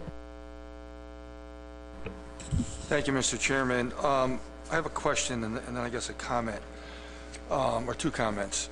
So in terms of what time frame should be used for allocation, we have current and proposed. Is, is that for all references in this document to time frames? So that would include, again, going back to a tier one choice, um, the allocation between the bait fishery and the reduction fishery. So, right, okay. Um, in, in terms then of what timeframes to use, I'm not opposed to keeping the current timeframes, except that I'd like to include 2013 through 2016. And I don't know what the easiest way to do that is if we just change 2009 to 2012, but then that's not really, um, that doesn't reflect, I'm going to say status quo or, or, or what the current allocation is, is based on. And, and then in, in terms of your question about do we include states that used to have a reduction fishery, I would say yes if we're going to go back to the 1950s and look at historic landings back to the 1950s when New York had a reduction fishery. We're not going that far back, at least as proposed. We're only going back as far as 1985. I say that somewhat tongue-in-cheek. I'm sorry, I didn't pick up on that, sorry. Um, Robert Boyles. Thank you, Mr. Chairman. Um, looking for Solomonic wisdom here on how to split the baby. Um, many of you who I have spoken to over the years about allocation know that I favor kind of a weighted approach because we all want what we want.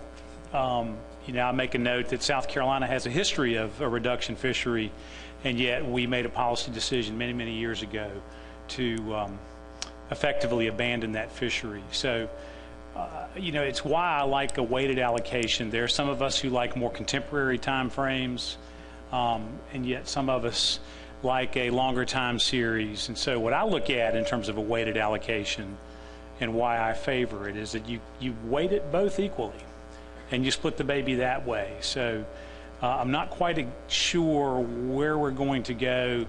Um, I'm interested in, in final disposition of this, of course, I, I hope in November, and hope we can come to, uh, to some consensus on how to best address it. But, but it's why I think I like the weighted allocation. You look at a long time series and you give that half, and you look at a more contemporary time series and you give that half, and you split the baby that way. Thanks. Thanks, and Robert, I'm not going to let you off the hook. Do you, in supporting that weighted allocation, which would in part rely upon the 85 through 95 period during which there were reduction fisheries in some states that no longer exist, would you support keeping those landings in or removing them? I'd remove them. Thank you. Dr. Duval? Well, I'm going to agree and disagree with uh, my neighbor to the south here. So I also like keeping the weighted allocation in there because I think it helps to um, bracket what the capacity was in different areas of the coast at, at different times. And I think just because some states, you know, like North Carolina no longer has a reduction fishery and, you know, due to legislative action, it's highly unlikely that we'll, we will probably ever have a reduction fishery again. That doesn't mean that there's not the capacity there to harvest more. So that's one of the reasons why I like the weighted allocation. And I would probably favor keeping those reduction landings in there, but, you know, that's me. Thank you. Uh, Terry Stockwell? Yeah, thank you, Mr. Chairman. Um, I, th I think we're all going to cherry pick what our favorite allocation is, meaning depending upon where we live and when we had our fisheries. Um, certainly there's, you know, from the northern perspective, there's some wisdom for me to be in favor of a longer time series. I could also say a weighted allocation if we looked at this last year. I'm personally hoping we don't use uh, timeframes at all as we move forward for the final decision. But I mean, tongue in cheek, Mr. Chairman, um, if we're going to go back and looking at, at old uh, um, rendering plants, uh, my hometown had three of them back in the 1800s. So, wisdom of the board on this one. I, I'm trying to discern and think about all the comments that have been offered, and is there a common thread here? Uh, I'd really like to get maybe another comment or two from folks who have been thinking about this and, and uh, have, a, have a recommendation for a way forward. Again, thinking about the fact that we have status quo and four alternatives under current timeframes, we have, and which we can keep, and it seems like there's more uh, board members in support of keeping that. I frankly don't know if I've heard too many, if anyone suggests replacing. And then I definitely sense a mixed feeling on the issue of whether uh, historic reduction landings from states that no longer have reduction fisheries should be kept in or not. So maybe a little bit more discussion on that second point in particular, uh, with a with my sense anyway from my perch here that the consensus that seems to be emerging is to stay with the current time frames on the left of that slide. Uh, but again, looking for more uh, clarity on that second part of the question. Roy Miller? Thank you, Mr. Chairman. Um, speaking from the perspective of a state that once had a uh, reduction fishery, and like Emerson, I would have to go back to the 50s and 60s. I, I don't feel that uh, it's appropriate uh, for us to consider the landings from that reduction, those old reduction fisheries. Um, that infrastructure that supported those fisheries no longer exists the dock space, uh, the fleets, everything. All of that's ancient history. So I, I, think it would be prudent to just eliminate these reduction fisheries that occurred before 85. Thank you. Thank you for And subsequent to 85. Understood. Thank you, Roy. I appreciate that. Uh, Robert. Thank you, Mr. Chairman. Um,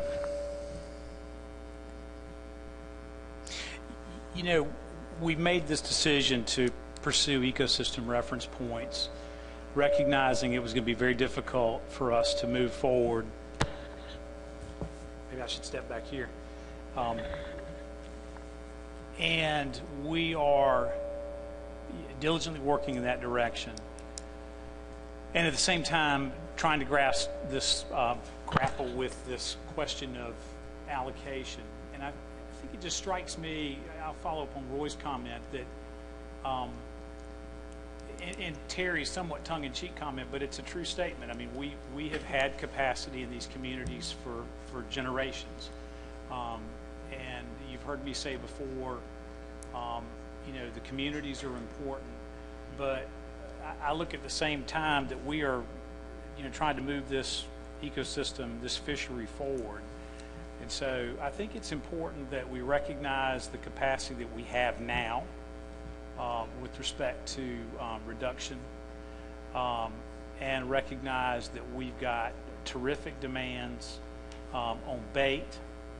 Uh, and so I would say, you know, for the purpose of, of keeping the orders of the day, Mr. Chairman, um, that we um, keep the current timeframes but not include um, those historical capacities in the reduction fishery. Thank you for that. And here's my suggested way forward, because I do think we need to move on. Um, The work is, if we keep the current timeframes, as I think there's pretty good consensus to do, the- by and large, the work's already been done on the, on the two, two ways of looking at those. And you can go into your document and, and after you get home and, and, and see more of what I'm referring to if you don't know what I mean. And each option has sort of with reduction included, not without reduction included. And my sense, from what I'm hearing, and I think the direction we, that I'm inclined to offer the PDT, uh, based on this board discussion, is that the board's preference is to use the current timeframes without including the reduction landings from states that no longer have reduction fisheries, but we'll keep that data set um, sort of in our back pocket or off to the side, whatever you might, however you might want to refer to it, to be potentially brought back uh, at our August meeting if anyone felt so strongly that it needed to be. But at least for the purposes of, of further refining the document, we would focus on just that one approach. Is there any objection to doing that from the standpoint of furthering the development of this document? No final decisions are being made right now, but it would, it's more about giving the PDT the guidance they need in order to, and, and Megan, of course, in her lead role here to, you know, really further work on this. Is the board comfortable with that approach? Is there any objection to that approach? Steve Train? Thank you, Mr. Chair. The only thing that makes me uncomfortable is uh, uh, the fish were harvested, the state land, someone in the state landed the fish, and then because uh, they chose to sell it to a reduction fishery, uh, reduction plant that's no longer there, we're not going to count it anymore. And that doesn't make sense to me. It would have sold, been sold somewhere else if the reduction plant wasn't there. So it was, it was landings that belonged to the history of that state, and I have trouble pulling it out. Do you have an objection to the approach I recommended, which is sort of a, a well, let's put it this way, Steve, if, we can keep the document just as it is right now, and each option has two alternatives, re- one with reduction landings in, one with reduction landings out. Is, I hear you saying that's, that's your preference, to keep it that way. Is, is that what I hear? Yes, and, I- and the reason I spoke up is you said you were going to work forward in one direction but keep the records of the other, and I, I had a problem with that. Yeah, so I'm going to try and broker this by just suggesting, because I really think it's important to kind of keep everything together as much as possible, even though I saw some heads nodding as I was trying to offer a way forward that was a more refined way. Um, in fairness to uh, Commissioner Train I, I, I, and others who have spoke on this issue, let's keep everything in, but let's vow to really roll up our sleeves and look at this document between now and August um, in the sense of coming back in, uh, at our meeting in August with some very clear, uh, with, with- with a clear sense as to how you think this should go out for public comment. Um, I think we've come a long way today in, in this discussion and our understanding of the issues and the options. Um, August is only three months away. It's not that far. I would just suggest that might be the best way forward. Is there, I, I, I sort of feel like on the one hand, I should offer some leadership here and perhaps make some calls, but on the other hand, I don't want to make a call that uh, might disadvantage or, or be perceived as disadvantaging certain states and certain interests. So um, Does that sound like a better way forward to keep it together with both options, both approaches in? Do I, I don't see too many heads nodding. I see one, one affirmative. This is a tough issue. I'm really looking for consensus here. I don't want to put this to a vote. In August, we might put it to a vote. In fact, we will. In August, we're going to be voting on these issues. So maybe that's the way to really think about it. We need to really come to a resolution on these issues at our August meeting. We're kicking the can down the road a little bit here today, which is okay because we're in midstream. We don't need to make a final call on what goes out for public comment. But in August, we will. So fair enough. I think we've had a good, robust discussion on these issues. I'm not planning to further it anymore unless anybody wants to. Um, and Megan, do you have any? No, no reactions. I didn't get any elbows or anything on that one, so I guess I'm, I'm okay with that suggestion. And I think it is the best way to kind of keep this process together. Just know that August is going to be a good meeting. It's going to be a good meeting in August. We're going to really try and get this thing, uh, come to terms with it. All right, with that, um, and the clock is ticking, we do have, uh, Dr. Pierce? Yeah, before you go on to the next uh, agenda item, I would suggest that we could actually remove uh, 4.3.1.2, the indecision clause.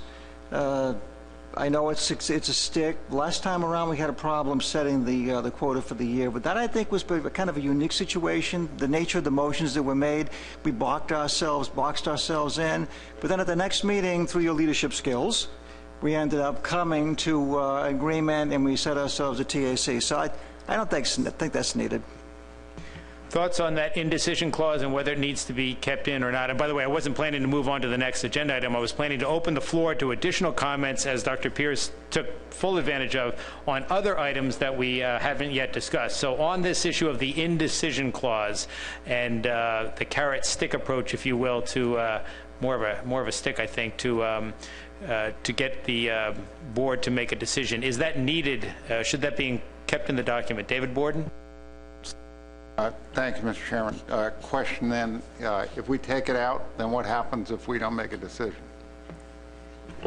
That's a great question. That's why we put it in. so we would, we would, we need to specify what happens if the board does not provide uh, or is not able to come to a consensus because we were pretty close to that. David? Yeah, I, I was going to suggest that, uh, the, with all due, due respect to the PDT, I thought that, uh, as Megan characterized it, carrot and stick, and I was going to suggest uh, that we use the Danvers half-long, that's a carrot, a very short carrot uh, approach, and maybe we should pick a, a range of percentages there. Leave it in, but have a, a different range. Instead of having it be 50%, maybe have it be 75% or 90%, and then the board has some, and it wouldn't trouble me at all to say that the quota stays the same, or it gets reduced and have some different percentages there. Does that sound like a fair approach? Uh, David? Thank you, Mr. Chairman. Uh, I certainly agree, and as a military guy, I'm all for accountability measures. I am uncomfortable with putting those accountability measures on the stakeholders, though. Thank you. Thank you. Further comments on this issue? We've had a suggestion to keep it in, but uh, perhaps not make it quite so onerous with that uh, half uh, cut, maybe something a little bit more, uh, you know, less onerous. So if I see a few heads nodding, so why don't we take that as the guidance we'll offer back to the PDT to uh, keep this in, but um, not make that stick quite so uh, heavy and and dangerous. Okay. Other comments or other recommendations on any other issues that Megan addressed uh, having to do with the uh, draft amendment? Uh, Emerson? Thank you, Mr. Chairman. Um, Megan, in your presentation, a couple of times you referenced um, 212,500 metric tons as a trigger, I think, for different things to occur. And what does that 212,500 metric tons derive from?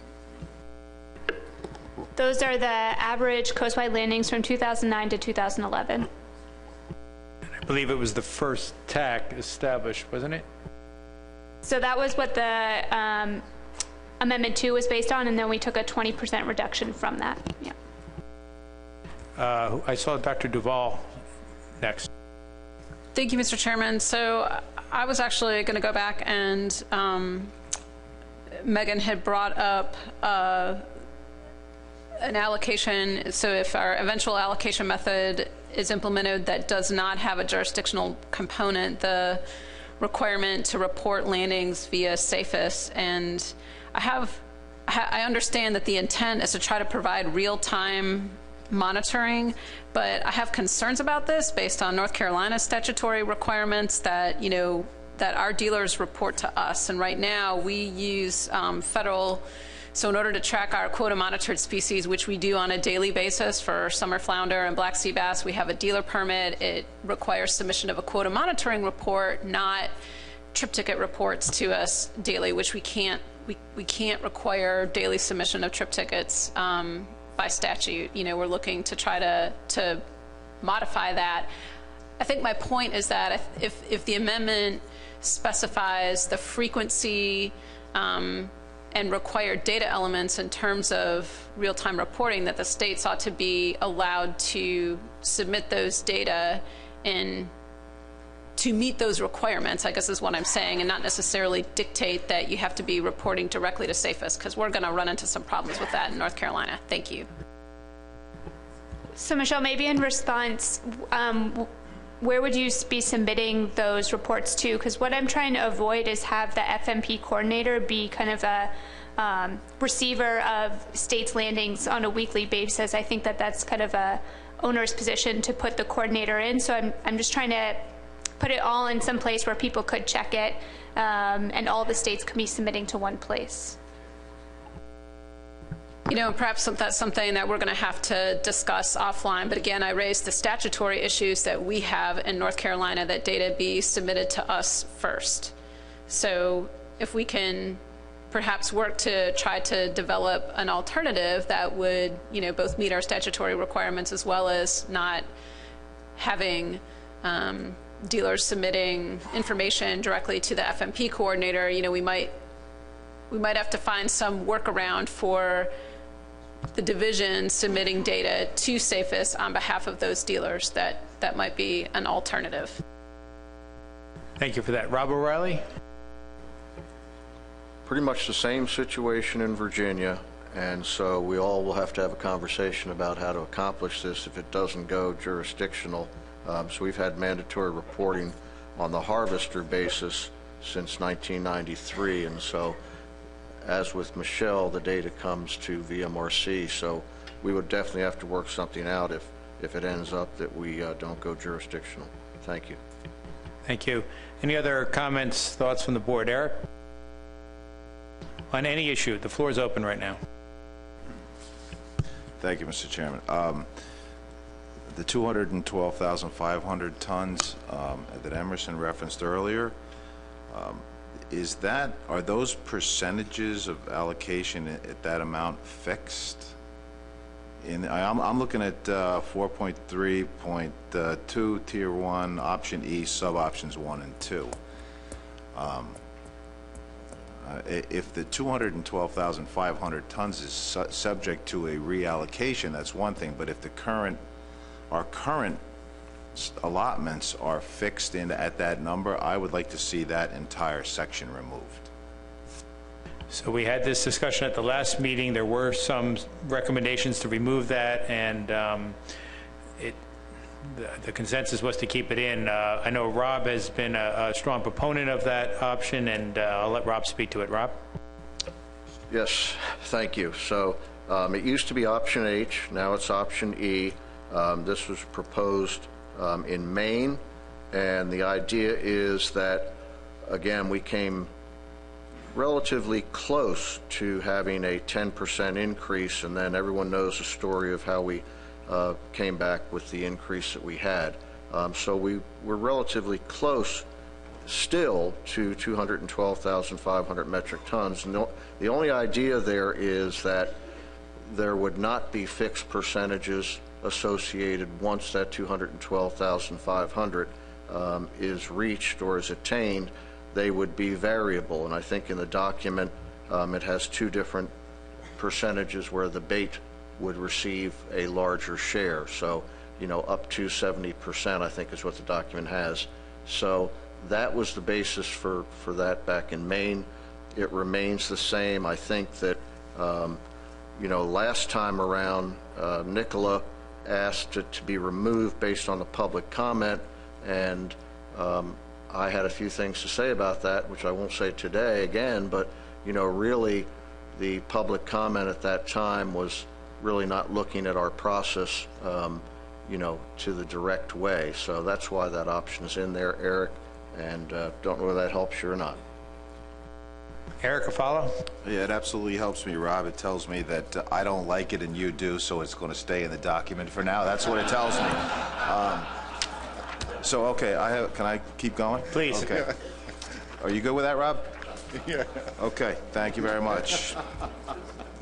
Um, I- I'm looking at, in, in the draft document on pages uh, 53 and 54, uh, it is uh, minimum quota plus additional quota.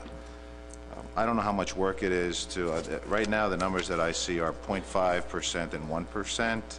Um, Just for reference, I really, I would be fine if 0.5% were dropped out of the document, Um, but I would like to see some analysis at um, at least 2%, and if it's not too much of a pain in the uh, neck, uh, 1.5 as well. That, that would be my request, and, uh, I mean, if it's, if it's, if we have the capability at some point to say, okay, we have the analysis at 1% and we have the analysis at 2%, can we do something in the middle, or can we just extrapolate the numbers? The numbers don't extrapolate very well in my mind, but at least they're close enough for me to make a decision. So I guess that's my request. Can we do a table at 2% without too much trouble? The answer is yes. We- It can be done if, if, if there's no opposition uh, on the part of the board to add another uh, sub-option uh, having to do with minimum uh, jurisdictional quotas, uh, and that would be in addition to the ha- half percent, although I know you recommended taking it out, but one thought is to keep that in, keep the 1%, and then add a new 2% option. Does that sound fair? Is that? Yeah, I'm, I'm fine with that. I just, like like I said, I, I can't extrapolate .5 to 1. It doesn't, you can't just multiply them times 2. I would like to see what 2% looks like, uh, plus the, w- plus the addition, 2 plus X, for lack lack of a better term. And if I could have that, I would be, uh, I, I would appreciate it. Thank you. Okay, duly noted. Other uh, suggestions, we are running late. We've got a couple more agenda items here, but uh, this is obviously a very important uh, issue. So, uh, David Borden? This, this is on the, just for my own edification, the, on the quota rollover, uh, and the, uh, specifically the options to roll over 100% of the quota and, and 50%. I, I- you know, I'm struggling with that a little bit because I can't think of another example of where the system, uh, the management system in any area has allowed the rollover of up to 100% of the quota. Uh, I mean, I, I've listened to a lot of uh, different discussions at council meetings and, and commission meetings about rollovers, and generally the scientists uh, voice a lot of concerns uh, because you're a whole year later, you've had natural mortality on the stock and a whole bunch of other variables uh, that can't be calculated. So what, what is the scientific uh, advice on 100% rollovers? Uh, The TC has not reviewed this document, so I can't really provide scientific advice from them. But we got those five options from board input based on the PID. So if the board would like to reconsider the options that are in there, that would be useful information.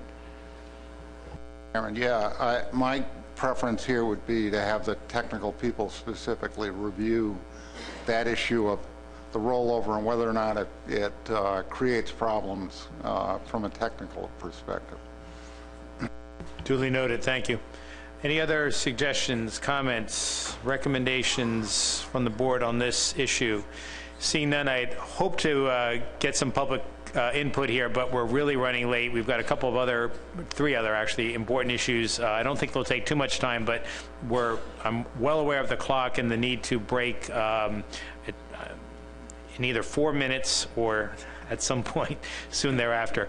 Um, So item seven on the agenda, we're going to move on. Is there any objection to moving on? Seeing none, we'll move on to item seven on the agenda, which is New York participation in episodic event program. Um, This issue was addressed in part by the board last year, but may need to be readdressed uh, this year to lend clarification to the issue. I'll let Megan summarize it and uh, set the stage for the board's consideration. Megan? Thank you, Mr. Chairman. Um, so just to briefly review the episodic events program and what it will look like in 2017. Um, in May of 2016, the board passed the motion to extend the episodic events program until Amendment 3 is implemented. So we do have the episodic events program for this year. Um, the set aside is roughly 4.4 million pounds, and that reflects the 200,000 metric ton TAC that has been specified for this year. In May of 2016, the board also approved New York as an eligible state to harvest under the episodic events program. So as a result, for 2017, the states of Maine through New York can harvest from the set aside pending they meet the mandatory provisions. The board also capped New York at 1 million pounds for 2016. Um, there is currently no cap on New York's harvest for 2017. Thank you. So that's where things stand. If the board were to take no further action, New York is eligible to participate in the program in 20, that might be a signal, uh, in 2017 and is not subject to a cap. If the board wanted to change that scenario in any way, action would be needed today. Does anyone have any recommendations or thoughts? Terry? Yeah, thank you, Mr. Chairman. Deja vu from a year ago. Um, uh, Keep this quick. I'm going to move that New York harvest is capped at 1 million pounds for 2017, Under the episodic event program. under the episodic event program. Is there a second to that? S- Seconded by Cheri, moved by uh, Terry Stockwell, seconded by Cheri to uh, reimpose the 1 million pound cap on New York's participation in the episodic event program for 2017. Discussion on the motion. Uh, Steve Heins. Thanks, Mr. Chairman. Um, Probably that's a wise move on the part of the, part of the board because as of today, our directed fisheries closed and you can walk across the water on the backs of the Menhaden. They're so thick in New York. We need this uh, episodic events just to try to at least forestall fish kills. We're going to have them. It's just um, maybe we can put them off for a few weeks. Thank you. Further discussion on the motion. Eric Reid? Uh, I just have a question. How much uh, tonnage or poundage did New York harvest last year? Megan's looking into that. Uh, While she's looking into it, any other questions or comments on the motion? Seeing none, we'll wait for the answer to that, and then we'll uh, take a vote. Steve? Uh, If you don't need an exact number, I think we were around 400,000 of the episodic. Um, I don't have your episodic number actually, because I believe it's, it's confidential, but total state landings were roughly 1.4 million, so that's bycatch episodic directed. So do you want to just let your comment stand, Steve, that, Well, I know that we didn't, we didn't, we didn't hit the 1 million mark, but that was because we had, we had reached a point where we believed we had, we had gotten out of the woods. And then in November, we had 5 million pounds of dead fish, so I, you know, you, you, I can't really judge this anymore. Eric? Um, I'd like you to give a million pounds to Rhode Island of episodic event, but I don't think that's going to happen. Um, No, I'm fine. I, I just, if Rhode Island's going to be out of the fishery because episodic event get used, gets used up again, uh, that would be unfortunate for the state of Rhode Island. That's all I'm going to say. thank you. Other uh, uh, comments? Robert Boyles? Mr. Chairman, um, parliamentary inquiry, I'd like unanimous consent to strike Mr. Heins' comments from the record on the basis of information from staff. Given the potential confidentiality? Y- Yes. Is there any objection to striking those comments in the record to protect any potential violation of confidentiality? Seeing no objections, those comments will be struck. Thank you for that suggestion. Other comments uh, on the motion? Seeing none, is the board ready for the question? If so, all in favor of the motion, please, uh, I'm sorry, do you need uh, a 15-second caucus?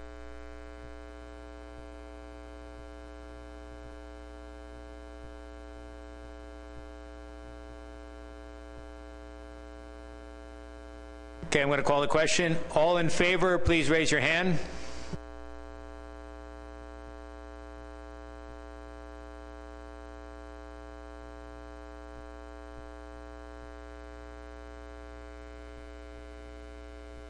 Eighteen in favor, opposed? Uh, Null votes, abstentions. Uh, Eight, the motion passes 18 to 0. And we're on to item eight, which is to provide guidance to the technical committee regarding stock projections. Um, This is a prelude to setting the TAC for 2018, which will be on our agenda for our next meeting in August. I believe our TC Chair, Jason McNamee, has a presentation, so at this point, I will turn it over to Jason.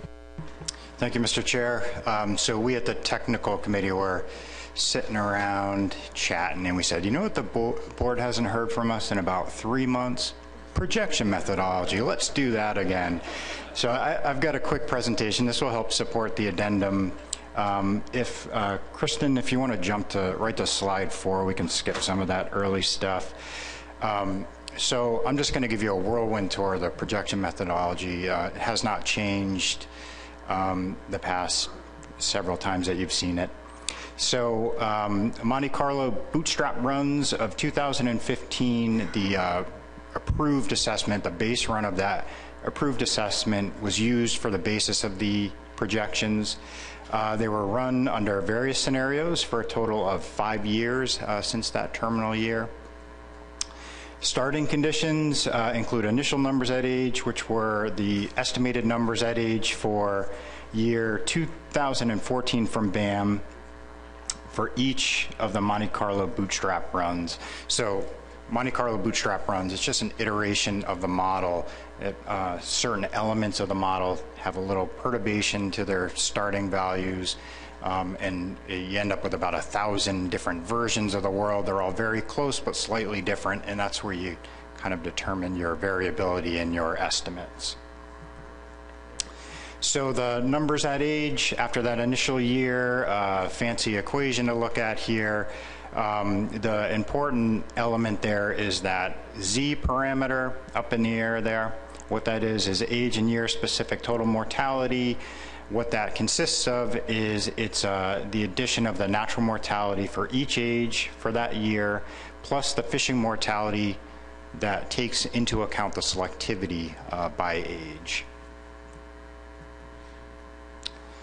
So the natural mortality for each of the projections uh, was a vector from each of the Monte Carlo bootstraps. Um, the selectivity, again, also a vector from each of the Monte Carlo bootstraps. In this case, the northern and southern fishery selectivities, they're the values from the last time period. So there's a couple of blocks in uh, the BAM model, and we're just grabbing uh, the last um, block, so the estimate from the last period of time. Uh, and then fishing mortality is estimated to match the annual landings that are uh, estimated. Um, so these landings, where do those come from? So those are uh, calculated using the Baranov-Catch equation um, and the weight of the landings.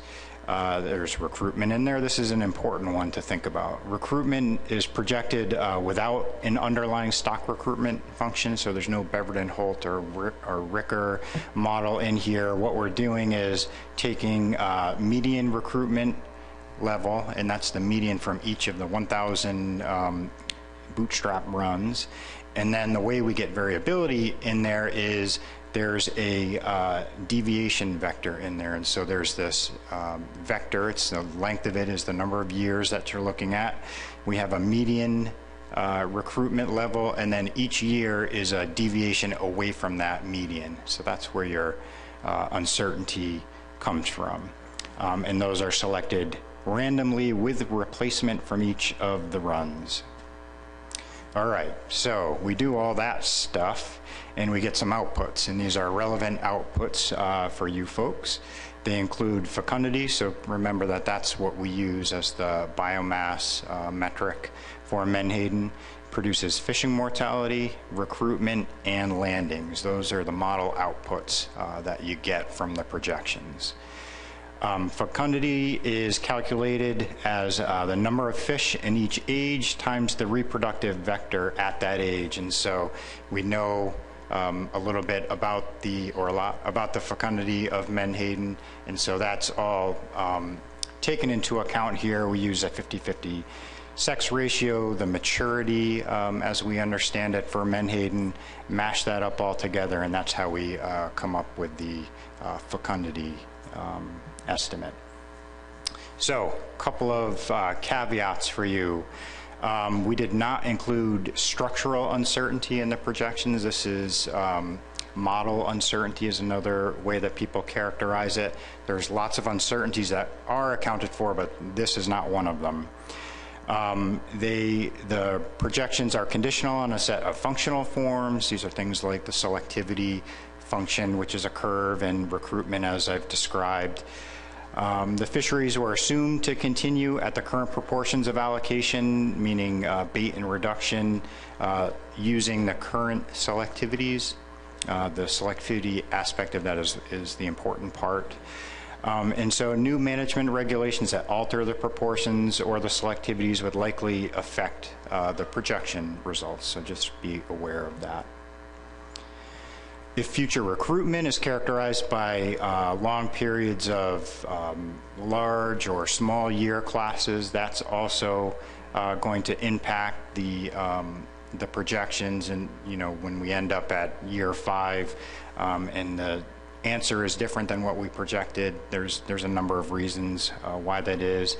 Additionally, because we're using the Baranov uh, catch equation, it, it's assuming mortality occurs um, throughout the year. And so, it, again, if seasonal closures and things like that go in, that's going to affect um, the outcomes uh, of reality versus uh, the projections. All right, just a couple of slides here to um, we can think back. This is what you had asked us for last time. Uh, we did uh, projections for you, and so current TAC uh, is not the current TAC now. It is the current TAC back when we did these, uh, but that was like a status quo projection you asked for. Then we did a series uh, that were fairly simple. They were just increases um, from that TAC, and then that was projected um, forward. And then you did a series where you were thinking more about risk, and you um, asked for three different levels of uh, you know, these risk probabilities of being uh, at or below the F target. So in summary, uh, we are performing, uh, and by we, I mean uh, Amy uh, Schueller, who's in the back there. Um, we're performing new projections based on previous guidance from the board and as outlined in, in the presentation. Uh, we added in some new scenarios that include interim ecological reference points as requested, and uh, as Shanna already noted, we uh, conferred with the folks at Lenfest to make sure that we were interpreting uh, their intent, so um, we're all on the same page there, and we don't bring something forward that then um, someone uh, might come back and say, no, that's not what we meant by that. So we've we've done that homework, um, and we are on track. I, I have completion in August. That's right, right? Yeah. So we, we're uh, on track with the work. So that's it. Any questions? Questions for Jason? Uh, Adam. Thank you. So did I understand correctly that you're going to apply those same projections, the 5% increase, the 10% increase, the 50% probably, the 55% probability? Was, was that what I heard or did I mishear that? Yeah, um, so I'll actually, so th that's not what I showed. I just wanted to show you the types of things that we have done for projections in the past as, as an example. Um, I'm not actually entirely sure the exact ones that we're doing. Um, and so Megan, I don't know if you have a, or Bob, if you have a better idea. The issue, I think, for the board is, is the board comfortable asking that those same projections be run again so yes, it would be repeating the same, I, whatever it was, seven runs. I think there's more actually when you add in some of the additional um, ERP type approaches. But is that is that what the board would like to see again in the same way you saw it last year, and use that as the basis for your uh, deliberations on setting the TAC for 2018, or would you recommend doing something different, either reducing those options or changing them? That that's the issue before the board today.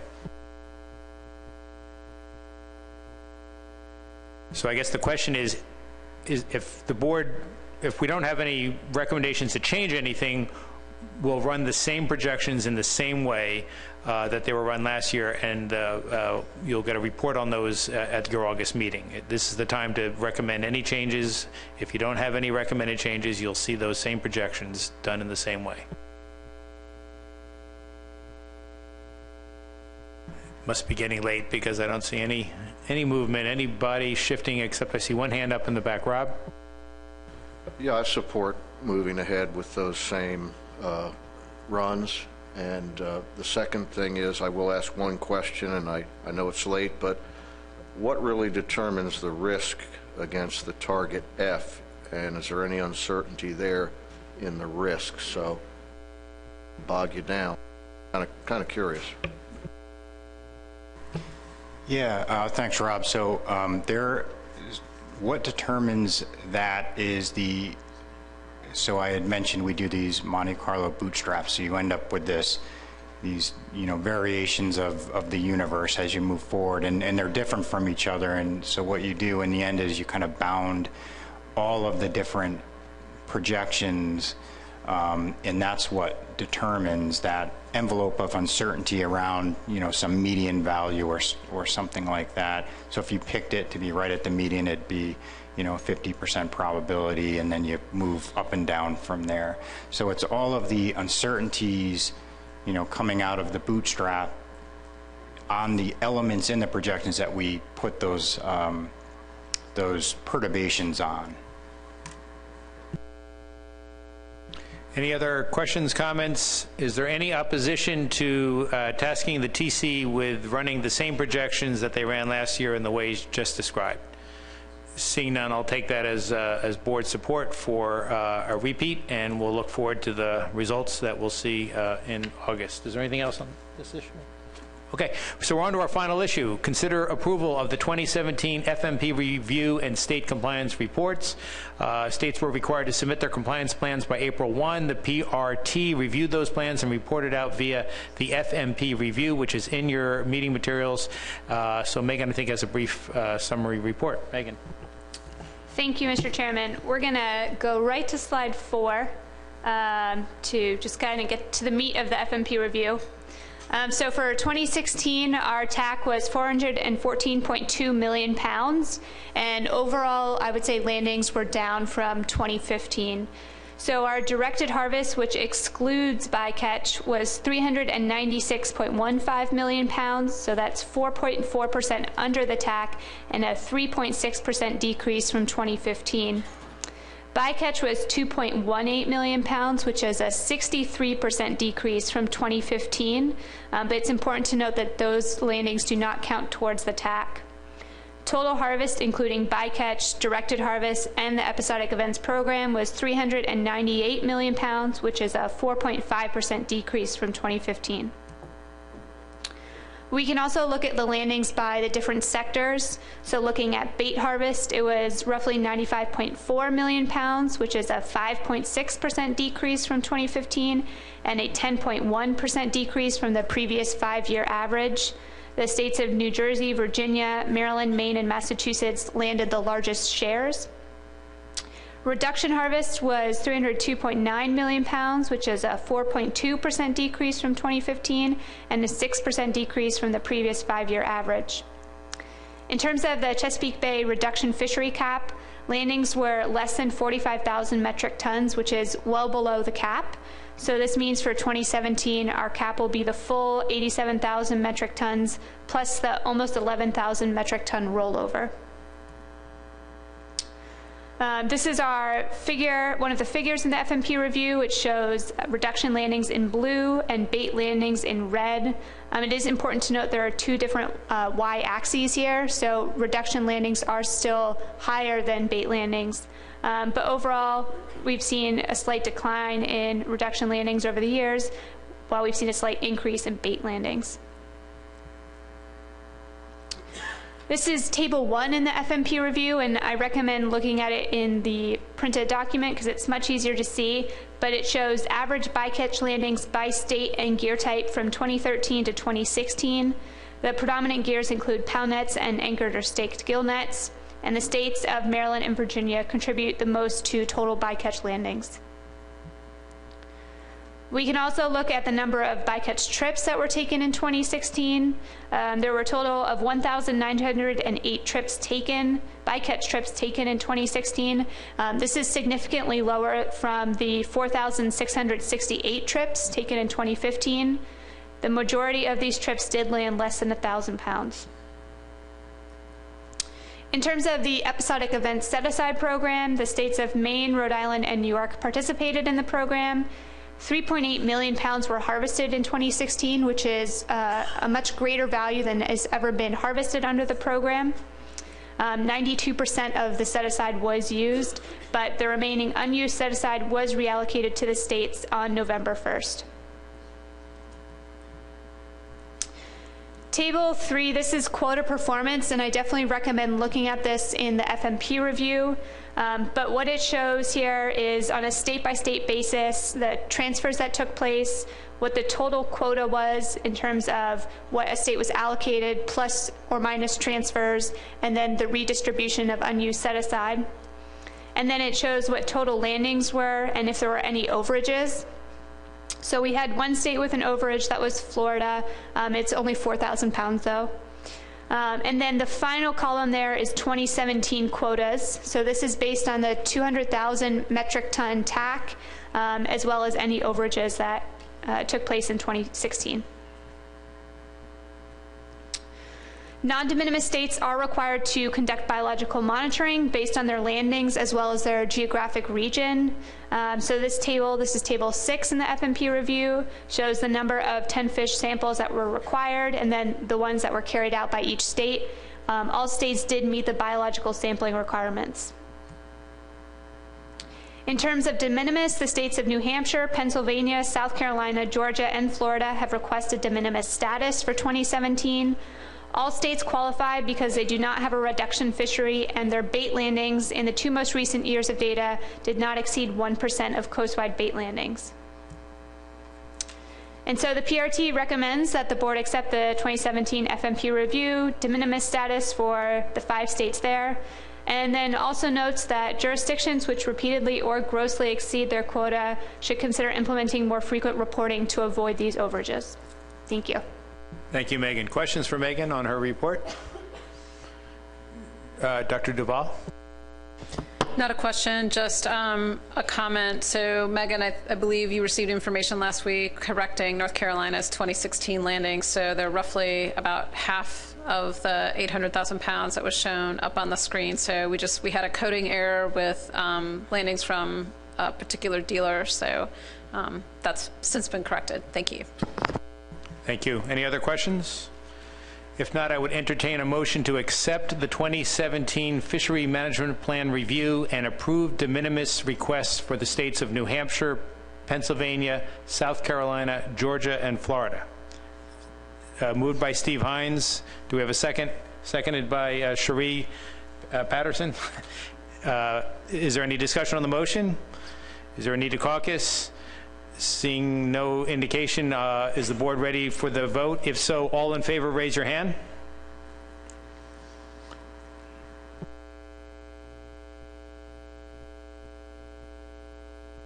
Eighteen in favor, and that's unanimous. So I think we are at the last item, which is other business. Is there any other business to come before the board?